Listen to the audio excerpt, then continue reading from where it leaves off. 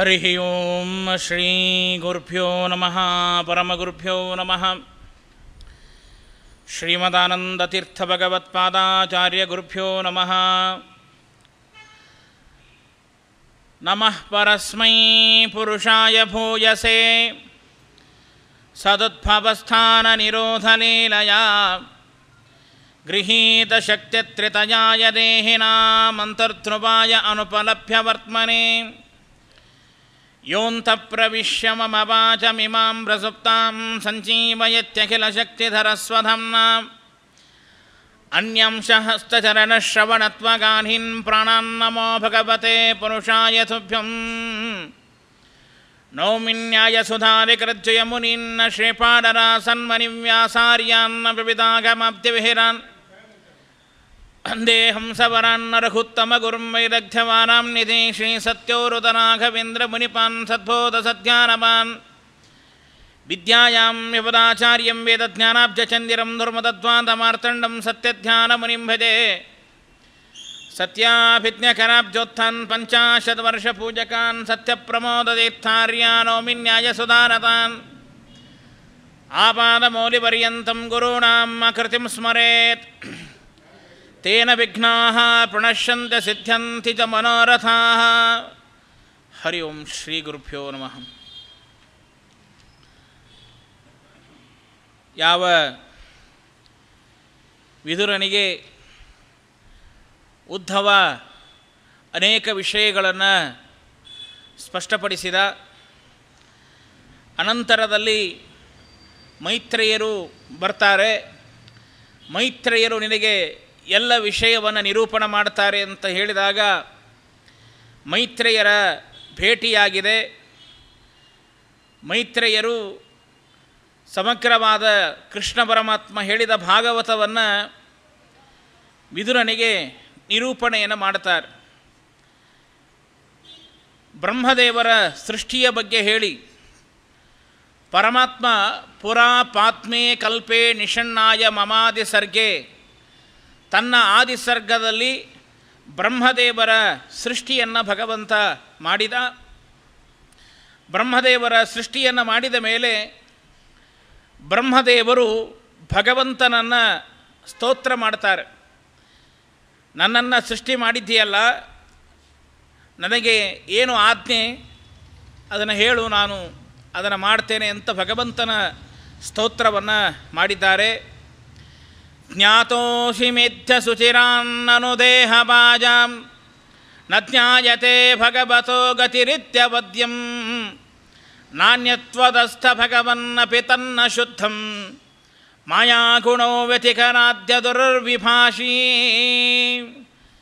ಏನು ಅಂದರೆ, ಭಗವಂತನನ್ನು ಪ್ರಾರ್ಥನೆ ಮಾಡಿಕೊಂಡು ಹೇಳ್ತಾರೆ, ದಿವ್ಯವಾದ ಸ್ವರೂಪವನ್ನು, ದಿವ್ಯವಾದ ರೂಪವನ್ನು ಹೊಂದಿರತಕ್ಕಂತಹ ಪರಮಾತ್ಮ ನೀನಿಲ್ಲದೆ ಎಲ್ಲ ಪ್ರತಿಯೊಂದು ಪದಾರ್ಥದೊಳಗೆ, ಪ್ರತಿಯೊಂದು ವಸ್ತುವೊಳಗೆ ಈಶಾವಾಸ್ಯಂ ಇದಂ ಸರ್ವಂ ಯತ್ಕಿಂಚ ಜಗತ್ಯಾಂ ಜಗತ್ ಪ್ರತಿಯೊಂದು ಪದಾರ್ಥದೊಳಗೆ ಭಗವಂತ ಇದ್ದಾನೆ. ಅಂತಹ ನಿನ್ನ ಅದ್ಭುತವಾಗಿರ್ತಕ್ಕಂತಹ ಗುಣಗಳು ವಿಶೇಷವಾದ ಪ್ರಪಂಚದ ಸೃಷ್ಟ್ಯಾದಿಗಳನ್ನು ಮಾಡ್ತಕ್ಕಂತಹ ನೀನು ಅಂತ ಹೇಳಿ ದೇವರನ್ನು ಬಹಳಷ್ಟು ವಿಶೇಷವಾಗಿ ವರ್ಣಿಸ್ತಾರೆ ನಾಥಃ ಪರಂಪ ಪರಂ ಪರಮ ಯದ್ಭವತಃ ಸ್ವರೂಪ. ಆನಂದ ಮಾತ್ರಂ ವಿಕಲ್ಪವಹ ವಿದ್ಧವರಚಃ. ಪಶ್ಯಾಮಿ ವಿಶ್ವಶತಮೇಕ ವಿಶ್ವಮಾತ್ಮನ್. ಭೂತೇಂದ್ರಿಯಾತ್ಮಕ ಮದಸ್ತು ಉಪಾಶ್ರಿತೋಸ್ಮಿ. ಭಗವಂತನ ಕುರಿತು ವಿಶೇಷವಾಗಿ, ನೀನು ಆನಂದಮಯನಾಗಿದ್ದೀಯಾ? ಸರ್ವಗುಣ ಪರಿಪೂರ್ಣನಾಗಿದ್ದೀಯಾ? ಸರ್ವದೋಷ ದೂರನಾಗಿದ್ದೀಯಾ? ಸರ್ವ ಗುಣಪರಿಪೂರ್ಣತ್ವ ಭಗವಂತನಲ್ಲಿದೆ. ಅಂತಹ ಅದ್ವಿತೀಯನಾಗಿರತಕ್ಕಂತಹ ಸಕಲ ಸರ್ವಭೂತಗಳನ್ನು ವಿಶೇಷವಾಗಿ ಸೃಷ್ಟಿ ಮಾಡತಕ್ಕಂತಹ ಪರಮಾತ್ಮ ಅಂತ ಹೇಳಿ ಭಗವಂತನನ್ನು ಸ್ತೋತ್ರ ಮಾಡಿದ್ದಾರೆ ಬ್ರಹ್ಮದೇವರು. ಅದ್ಭುತವಾದ ವಿಷಯಗಳನ್ನು ಬ್ರಹ್ಮದೇವರು ನಿರೂಪಣೆ ಮಾಡ್ತಾರೆ. ಬ್ರಹ್ಮದೇವರಿಗೆ ಭಗವಂತ ಹೇಳಿದ, ಮಾಂ ಮಾ ವೇದಗರ್ಭಂ ಗಾಸ್ತಂದ್ರೀ ಸರ್ಗ ಉದ್ಯಮ ಮಾಹ ಮಾವಹ.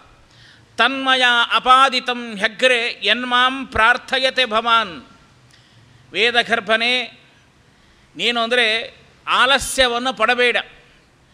ಸೃಷ್ಟಿಯ ವಿಷಯದಲ್ಲಿ ನೀನು ತತ್ಪರನಾಗು. ನಿನ್ನಲ್ಲಿ ಇದ್ದುಕೊಂಡು ಸೃಷ್ಟಿಯನ್ನು ಮಾಡಿಸುವನು ನಾನೇ. ಹೀಗಾಗಿ ಆ ಸೃಷ್ಟಿಯನ್ನು ಮಾಡು ಅಂತ ಹೇಳಿದಾಗ ಬ್ರಹ್ಮದೇವರಂತಾರೆ, ಈ ತರಹದ ಸೃಷ್ಟಿ ಮಾಡುವ ಸಾಮರ್ಥ್ಯ ನನ್ನಿಂದ ಎಲ್ಲಿಂದ ಬಂದದ್ದು? ದೇವರು ಹೇಳ್ತಾನೆ ನೀನೇ ಸೃಷ್ಟಿ ಮಾಡು, ನಿನ್ನೊಳಗಡೆ ನಿಂತುಕೊಂಡು ನಾನು ಎಲ್ಲ ಇಂದ್ರಿಯಗಳ ಪಂಚಮಹಾಭೂತಗಳು ಪಂಚ ತನ್ಮಾತ್ರಗಳು ಇಂದ್ರಿಯಗಳು, ಮನಸ್ಸು, ಬುದ್ಧಿ, ಅಹಂಕಾರ, ಇವೆಲ್ಲದರ ಸೃಷ್ಟಿಯನ್ನು ನಾನು ಮಾಡಿಸ್ತೇನೆ. ಈ ಸೃಷ್ಟಿಯನ್ನು ಮಾಡುವುದಕ್ಕಾಗಿ ನೀನು ಸನ್ನದ್ಧನಾಗು ಅಂತ ಹೇಳಿ ಆ ಸೃಷ್ಟಿಯ ಬಗ್ಗೆ ಹೇಳ್ತಾರೆ. ಹಾಗಾದರೆ ಅನೇ ಒಂದೊಂದು ಸೃಷ್ಟಿಯೂ ಸಹಿತ ಒಂದೊಂದು ಅದ್ಭುತವಾಗಿರ್ತಕ್ಕಂಥದ್ದು ಅಂತ. ಕಾಲದ್ರವ್ಯ ಗುಣೈರಸ್ಯ ತ್ರಿವಿಧ ಪತ್, ಪತಿಸಂಕ್ರಮ.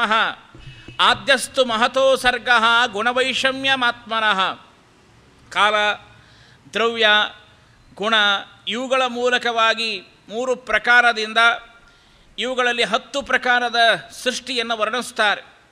ಮೊದಲನೆಯ ಸೃಷ್ಟಿಯೇ ಮಹತ್ತತ್ವದ ಸೃಷ್ಟಿ ಅಂತ ಹೇಳ್ತಾರೆ. ಎರಡನೆಯ ಸೃಷ್ಟಿ ಅಹಂಕಾರ ಸೃಷ್ಟಿ. ಈ ಅಹಂಕಾರ ಸೃಷ್ಟಿ ಇದೆಯಲ್ಲ ದ್ವಿತೀಯಸ್ತು ಅಹಮೋ ಯತ್ರ ದ್ರವ್ ದ್ರವ್ಯಜ್ಞಾನ ಕ್ರಿಯೋದಯ ಭೂತಸರ್ಗ ತೃತೀಯಸ್ತು ತನ್ಮಾತ್ರೋ ದ್ರವ್ಯಶಕ್ತಿಮಾನ್. ಎರಡನೆಯ ಸೃಷ್ಟಿ ಇದೆಯಲ್ಲ ಅದು ಅಹಂಕಾರ ಸೃಷ್ಟಿ, ಅದರಿಂದ ಪೃಥ್ವಿ ಮತ್ತು ಪಂಚ ಮಹಾಭೂತಗಳು, ಪೃಥ್ವಿ, ಅಪ, ವಾಯು, ತೇಜ, ಆಕಾಶ್, ಜ್ಞಾನೇಂದ್ರಿಯಗಳು, ಕರ್ಮೇಂದ್ರಿಯಗಳ ಉತ್ಪತ್ತಿ. ಇದು ವಿಶೇಷವಾಗಿರ್ತಕ್ಕಂತಹ ಭೂತಗಳ ಸೃಷ್ಟಿ, ಇದು ಮೂರನೆಯ ಸೃಷ್ಟಿ. ಹೀಗಾಗಿ ಪಂಚ ತನ್ಮಾತ್ರಗಳಿಗೆ ಪಂಚ ಪಂಚ ಮಹಾಭೂತಗಳಿಗೆ ಪಂಚ ತನ್ಮಾತ್ರಗಳನ್ನು ಸಹಿತ ಸೃಷ್ಟಿ ಮಾಡಿದ್ದಾರೆ. ಆ ಸೃಷ್ಟಿ ಏನಂದರೆ ವಿಶೇಷವಾಗಿ ಶಬ್ದ ರೂಪ ರಸಗಂಧ ಸ್ಪರ್ಶಾದಿಗಳು. ಅಷ್ಟು ಮಾತ್ರ ಅಲ್ಲ, ನಾಲ್ಕನೆಯದು ಇಂದ್ರಿಯ ಸೃಷ್ಟಿಗಳು ಅಂತ ಹೇಳ್ತಾರೆ. ಚತುರ್ಥಂ ಐಂದ್ರಿಯಂ ಸರ್ಗೋ ಯಸ್ತು ಜ್ಞಾನ ಕ್ರಿಯಾತ್ಮಕ. ನಾಲ್ಕನೇದು ಇಂದ್ರಿಯ ಸೃಷ್ಟಿಯು, ಜ್ಞಾನಶಕ್ತಿ, ಕ್ರಿಯಾಶಕ್ತಿ, ಇಚ್ಛಾಶಕ್ತಿ ಇನ್ನು ಐದನೇದು ಸಾತ್ವಿಕ ಅಹಂಕಾರದಿಂದ ಈ ಇಂದ್ರಿಯಗಳಿಗೆ ಅಧಿಷ್ಠಾತೃ ದೇವತೆಗಳು.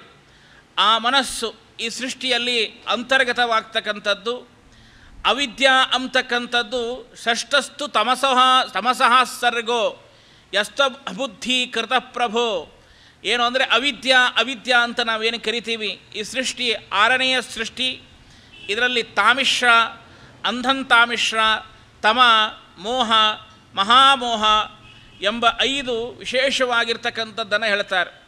ಇದೇನದ ಬುದ್ಧಿಗಳ ಜೀವನ ಆವರಣಗೊಳಿಸಿ, ಸಂಪೂರ್ಣವಾಗಿ ಷಡಿಮೆ ಪ್ರಾಕೃತಾ ಸರ್ಗ ವೈಕೃತಾನಪಿ ಮೇ ಅವರನ್ನು ಆವರಿಸಿಕೊಂಡು ಈ ತರಹದ ವೈಕೃತ ಸೃಷ್ಟಿ ವೈಕೃತ ಸೃಷ್ಟಿ ಅಂತ ಅದನ್ನು ವಿಶೇಷವಾಗಿ ಕರೀತಾರೆ.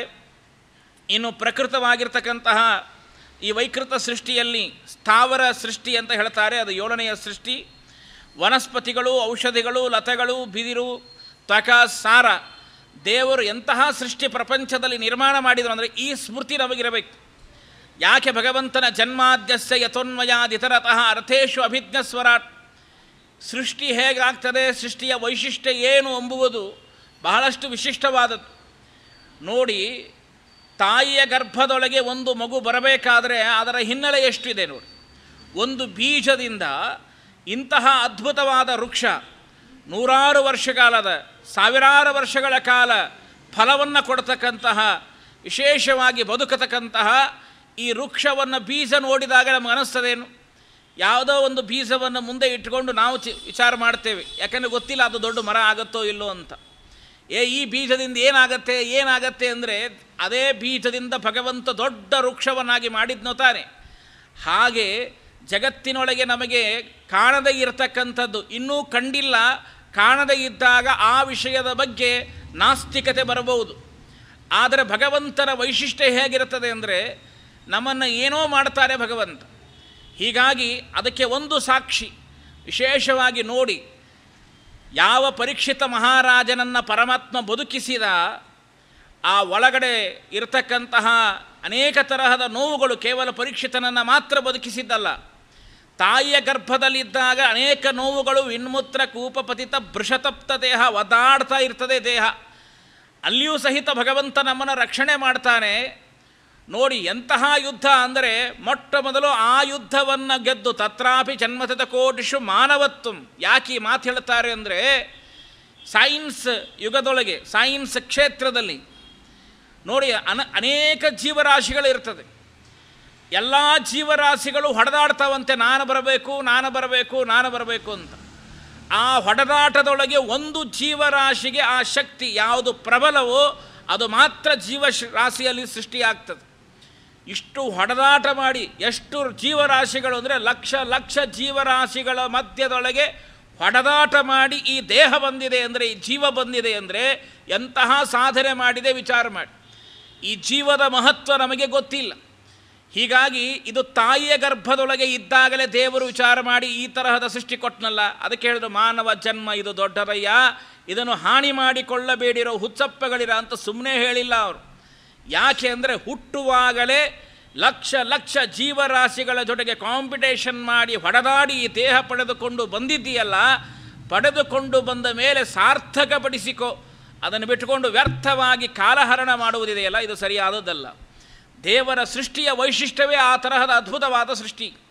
ಅದಕ್ಕಾಗಿ ಒಂದು ಬೀಜ ನೋಡಿದಾಗ ಮನಸ್ಸದೆ ಬೀಜ, ಇದು ಬೆಳೀತದೇನು, ಇದು ದೊಡ್ಡದಾಗ್ತದೇನು, ಒಂದು ತುಳಸಿ ಬೀಜ ತೆಗೆದುಕೊಳ್ಳಿ. ಎಷ್ಟು ಸಣ್ಣದಿರ್ತದೆ ಆದರೆ ಆ ತುಳಸಿ ಬೀಜವನ್ನು ಹಾಕಿದಾಗ ಬೆಳೆದು ನಮಗೆ ವಿಶೇಷವಾಗಿರ್ತಕ್ಕಂತಹ ತುಳಸಿ ದಳಗಳು ಎಷ್ಟು ಮಹತ್ವಪೂರ್ಣವಾದವು ಅನೇಕ ಬೀಜಗಳು, ಒಂದಲ್ಲ ಎರಡಲ್ಲ, ಹಾಕಿದಾಗ ಇದಕ್ಕೆ ಈ ತರಹದ ಸ್ವರೂಪ ಬರ್ತದೆ ಅಂತ ನಮಗೆ ಗೊತ್ತಿರೋದಿಲ್ಲ. ಬರದೇ ಇದ್ದಾಗ ನಮ್ಮ ಮನಸ್ಸಲ್ಲಿ ಇದರಿಂದ ಏನ್ರಿ ಆಗ್ತದೆ ಅಂತ ಬರ್ತದೆ. ಆದರೆ ಆದ ಮೇಲೆ ಗೊತ್ತಾಗ್ತದೆ ಆತ್ಯಂತಿಕವಾದ ಪರಿಣಾಮ. ಅದಕ್ಕಾಗಿ ದೇವರು ಧರ್ಮಾಚರಣೆಯನ್ನು ಅವಶ್ಯವಾಗಿ ಮಾಡಬೇಕು. ಏ, ಎಲ್ಲಿದೆ ಸ್ವರ್ಗ? ಎಲ್ಲಿದೆ? ಮೋಕ್ಷ ಎಲ್ಲಿದೆ? ಯಾವ ನರಕ, ಯಾವ ಪಾಪ, ಯಾವ ಪುಣ್ಯ ಅಂತಂದರೆ ಅದು ಸರಿಯಾದದ್ದಲ್ಲ. ಯಾಕಂದರೆ ನಮಗೆ ಕಂಡಿಲ್ಲ ಅಂದ ಮಾತ್ರಕ್ಕೆ ಅದು ಸುಳ್ಳು ಅಂತ ಹೇಳಲಿಕ್ಕೆ ಸಾಧ್ಯ ಇಲ್ಲ. ಅದಕ್ಕಾಗಿ ಹೇಳ್ತಾರೆ, ದೇವರು ಇಷ್ಟೆಲ್ಲ ಮಾಡಿ ತೋರಿಸ ಸಪ್ತಮೋ ಮುಖ್ಯ ಸರ್ಗಸ್ತು ಶಿಡಸ್ತುಷಾಂಚಯ ವನಸ್ಪತಿಗಳನ್ನು ಎಲ್ಲ ಸೃಷ್ಟಿ ಮಾಡಿದ ಒಂದೊಂದು ವನಸ್ಪತಿಗಳ ಒಳಗೆ ಎಂತಿಂತಹ ಶಕ್ತಿ ಇದೆ ನೋಡಿ. ಅನೇಕ ತರಹದ ವನಸ್ಪತಿಗಳ ವೃಕ್ಷಗಳನ್ನು ನಮ್ಮ ಪ್ರಪಂಚದೊಳಗಿರುವಂತಹ ಅನೇಕ ವಸ್ತುಗಳು, ಒಂದಲ್ಲ ಎರಡಲ್ಲ, ಚಂದನದ ವಸ್ತುಗಳು. ನಮಗನಿಸ್ತದೆ, ದೇವರು ಸೃಷ್ಟಿ ಮಾಡಿರೋದಕ್ಕೆ ಬೆಲೆ ಕಟ್ಟಲಿಕ್ಕೆ ಸಾಧ್ಯ ಇಲ್ಲ ಅಂತ. ಯಾರೋ ಮೊನ್ನೆ ನನಗೆ ಒಬ್ಬರು ಹೇಳ್ತಾ ಇದ್ದರು ಭಾರತ ದೇಶದ ಪ್ರಧಾನವಾಗಿರ್ತಕ್ಕಂತಹ ಕ್ರೂರ ಪ್ರಾಣಿಗಳಲ್ಲಿ ವಿಶೇಷವಾದದ್ದು ಹುಲಿ ಅಂತ ಹೇಳ್ತಾ ಇದ್ದರು ಈ ಹುಲಿಯ ಬಗ್ಗೆ ಸಂಶೋಧನೆ ಮಾಡಿ ಸಾಕಷ್ಟು ಪುಸ್ತಕ ಬರೆದಿದ್ದಾರೆ. ಅವರು ಒಂದು ಸರ್ವೆ ಮಾಡಿದ್ದಾರೆ. ಎಷ್ಟು ಹುಲಿಗಳಿದೆ ಅಂದರೆ ಒಂದು ಸಾವಿರದ ನಾಲ್ಕುನೂರ ಎಷ್ಟೋ ಹುಲಿಗಳಿದೆ ಅಂತ ಹೇಳಿದರು. ಆದರೆ ಈ ಹುಲಿಯ ಪದಾರ್ಥಗಳು ಎಷ್ಟು ಬೆಲೆ ಬಾಳುವಂತಹ ಪದಾರ್ಥಗಳು ಅಂದರೆ ಅದನ್ನು ಕಳ್ಳ ಸಾಗಾಣಿಕೆಗೋಸ್ಕರವಾಗಿ ಸಾಕಷ್ಟು ಅದಕ್ಕೆ ವ್ಯವಸ್ಥೆ ಮಾಡಿದೆ ಸರ್ಕಾರ. ಆದರೆ ಆ ಒಂದು ಹುಲಿಯ ಉಗುರಿಗೆ ಎಷ್ಟು ಹಣ ಇದೆ ಅಂದರೆ ಇವತ್ತು, ಅದನ್ನು ಉಗುರನ್ನು ತೆಗೆದುಕೊಂಡು ಹೋಗಿ ನೀವೇನಾನು ಕಟ್ಕೊಂಡು ನೇಪಾಳ ತನಕ ತೊಗೊಂಡು ಹೋದ್ರೆ ಅವ್ರು ಹೇಳ್ತಾ ಇದ್ರು. ಅದೇ ಒಂದು ಉಗುರಿಗೆ ನೀವು ಇದೇ ಏನು ಅಂದರೆ ನೀವು ಯಾವ ಊರಲ್ಲಿದ್ದೀರಿ ಅಲ್ಲೇ ಮಾರಿದರೆ ಭಾಳ ಆದರೆ ನಿಮಗೆ ಒಂದು ಐವತ್ತು ಸಾವಿರ ರೂಪಾಯಿ ಸಿಗ್ಬೋದು. ಆದರೆ ಅದರ ಭಾಗವನ್ನು ನೀವು ಏನಾದರೂ ನೇಪಾಳ ಗಡಿ ತನಕ ತೊಗೊಂಡು ಹೋದರೆ ಅದೇ ಪದಾರ್ಥಕ್ಕೆ ಒಂದು ಕೋಟಿ ರೂಪಾಯಿ ಸಿಗ್ತದಂತೆ. ಯಾಕೆ ಅಂದರೆ ಅದರ ಬೆಲೆ ಮಹತ್ವ ಅಷ್ಟು ಪೂರ್ಣವಾದದ್ದು. ಹೀಗೆ ಪ್ರತಿ ಪದಾರ್ಥದೊಳಗೆ, ಪ್ರತಿ ವಸ್ತು ಒಳಗೆ ಭಗವಂತ ಆ ತರಹದ ಪ್ರಾಣಿಗಳೊಳಗೆ ಆ ತರಹದ ಶಕ್ತಿ ಇಟ್ಟ. ಅದಕ್ಕಾಗಿ ಅದನ್ನೆಲ್ಲ ಇವತ್ತು ಸರ್ಕಾರ ತಡೆಯೋದಕ್ಕೆ, ಸಾಕಷ್ಟು ಅದಕ್ಕೆ ವ್ಯವಸ್ಥೆ ಮಾಡಿದ್ದಾರೆ. ಯಾಕೆ ಇದನ್ನು ಹೇಳ್ತಾ ಇದ್ದಾನೆ, ಹೇಳ್ತಾ ಇದ್ದೀನಿ ಅಂದರೆ ಚಂದನದ ವಸ್ತುಗಳು. ಈ ಚಂದನದ ವೃಕ್ಷ ಇದೆಯಲ್ಲ, ಚಂದನ ವೃಕ್ಷಕ್ಕಿರ್ತಕ್ಕಂತಹ ಆಯುರ್ವೇದ ಶಾಸ್ತ್ರದಲ್ಲಿ ಅದ್ಭುತವಾದ ಕೆಪ್ಯಾಸಿಟಿ ದೇಹದೊಳಗೆ ಒಂದು ಎನರ್ಜಿ ಅಥವಾ ಈ ಆ್ಯಂಟಿ ಇದು ಅಂತ ಕರೀತಾರಲ್ಲ, ಆ ತರಹದ ಶಕ್ತಿಯನ್ನು ಹುಟ್ಟು ಹಾಕ್ತಕ್ಕಂತಹ ಚಂದನದ ವೃಕ್ಷದೊಳಗಿರ್ತಕ್ಕಂಥದ್ದು ವಿಶೇಷವಾದದ್ದು. ಆದರೆ ಅದೇ ಚಂದನ ವೃಕ್ಷ ಇವತ್ತು ಯಾಕೆ ಇದು ಕಳ್ಳ ಸಾಗಾಣಿಕೆ ಆಗ್ತಾ ಇದೆ ಎಂಬುದರ ಬಗ್ಗೆ ಅರಿವಿರಬೇಕು ನಮಗೆ. ಇವತ್ತು ಈ ಸಾಂಬಾರ ಪದಾರ್ಥಗಳು ಅದಕ್ಕಾಗಿಯೇ ಬೇರೆ ಬ್ರಿಟಿಷರು ನಮ್ಮಲ್ಲಿ ಬಂದಿತ್ತು. ಈ ತರಹದ ಅತ್ಯಮೂಲ್ಯವಾದ ವಸ್ತುಗಳನ್ನು, ಪದಾರ್ಥಗಳನ್ನು ಭಗವಂತ ಸೃಷ್ಟಿ ಮಾಡಿ ಪ್ರಪಂಚಕ್ಕೆ ಕೊಟ್ಟನಲ್ಲ ಅವುಗಳನ್ನು ಯಾವುದು ವಿಶೇಷವಾದದ್ದು ಅಂತ ನಮಗೆ ಇನ್ನೂ ತಿಳ್ಕೊಳ್ಳಿಕ್ಕಾಗಿಲ್ಲ ಯಾಯಾ ಗಿಡಮೂಲಿಕೆಗಳಲ್ಲಿ ಏನೇನು ಪದಾರ್ಥಗಳಿದೆ, ಅದರ ವೈಶಿಷ್ಟ್ಯ ಏನು, ಆ ಯಾವುದಾವುದು ಸಮಸ್ಯೆ ಪರಿಹಾರ ಮಾಡ್ತದೆ ಅಂಬೋದರ ಬಗ್ಗೆ ಇನ್ನೂ ನಮಗೆ ಗೊತ್ತಾಗಿಲ್ಲ. ಆ ತರಹದ ಸೃಷ್ಟಿಯನ್ನು ಭಗವಂತ ಪದಾರ್ಥಗಳ ಸೃಷ್ಟಿಯನ್ನು ಭಗವಂತ ಈ ಪ್ರಪಂಚದೊಳಗೆ ಮಾಡಿಕೊಟ್ಟಿದ್ದಾನೆ. ಅದರ ಮಹತ್ವ ನಮಗೆ ಗೊತ್ತಿಲ್ಲ. ಆದರೆ ಒಂದು ತಿಳ್ಕೊಳ್ಳಿ, ಇದು ಏಳನೆಯ ಸೃಷ್ಟಿಯಲ್ಲಿ ಭಗವಂತ ಮಾಡಿರ್ತಕ್ಕಂಥದ್ದು. ಎಂಟನೆಯ ಸೃಷ್ಟಿಯಲ್ಲಿ ತಿರಾಶ್ಚ ಅಷ್ಟಮೇ ಸರಿಗೆ ಸೊ ಅಷ್ಟೋವಿಂಶದ್ ವಿಧೋ ಮತಃ. ಎಂಟನೆಯ ಸೃಷ್ಟಿ ತಿರಿಯಕ್ ಸೃಷ್ಟಿ, ಪಶುಗಳು, ಪಕ್ಷಿಗಳು, ಯೋನಿಗಳಾಗಿರ್ತಕ್ಕಂಥದ್ದು ಇಪ್ಪತ್ತೆಂಟು ಜಾತಿಯ ಪ್ರಾಣಿಗಳನ್ನು ಮಾಡಿದ್ದಾನೆ ಭಗವಂತ.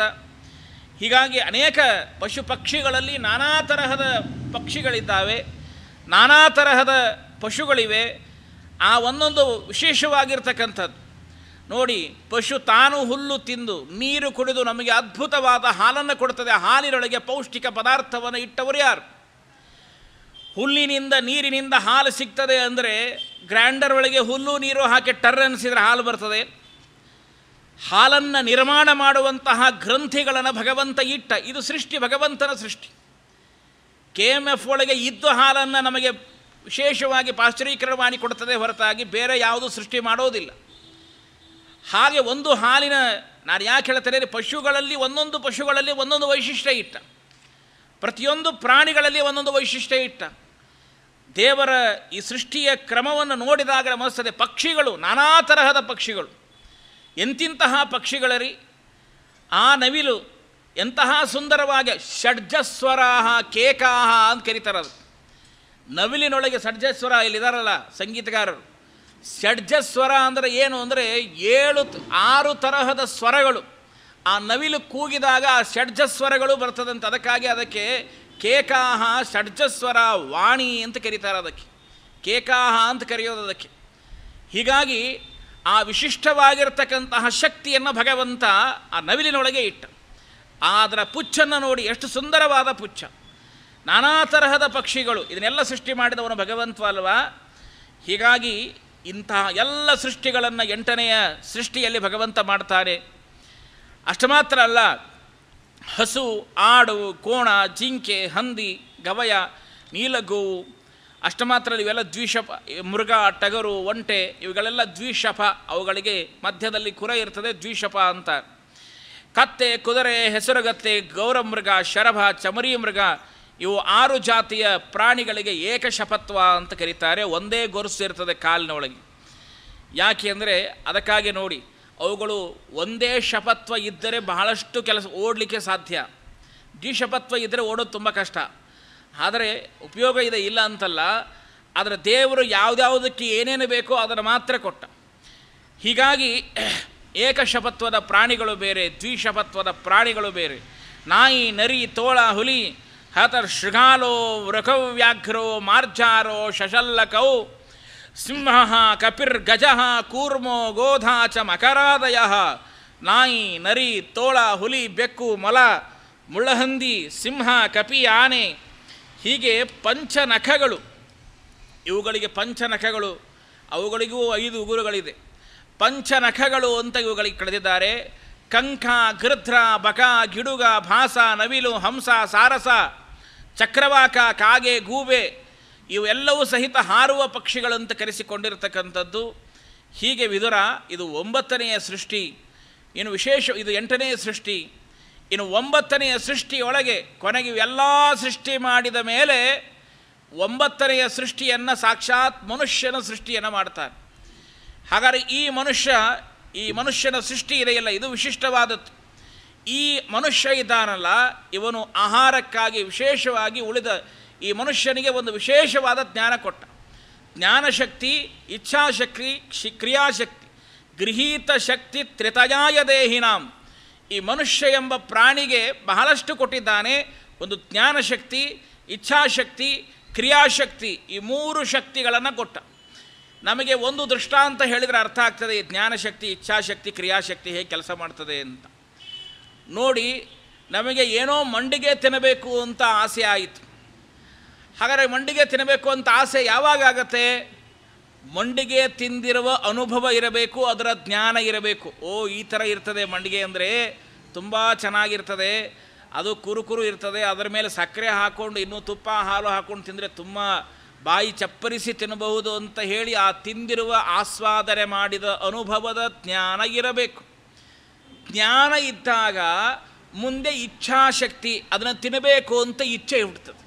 ನಮಗೆ ಜ್ಞಾನವೇ ಇಲ್ಲ ಅಂದರೆ ಇಚ್ಛೆ ಹುಟ್ಟುವುದಿಲ್ಲ. ಅಯ್ಯೋ, ನಾನು ತಿಂದೇ ಇಲ್ಲ ಅದರ ಸಾವಿತ್ರಿ ಏನು ಗೊತ್ತಾಗಬೇಕು?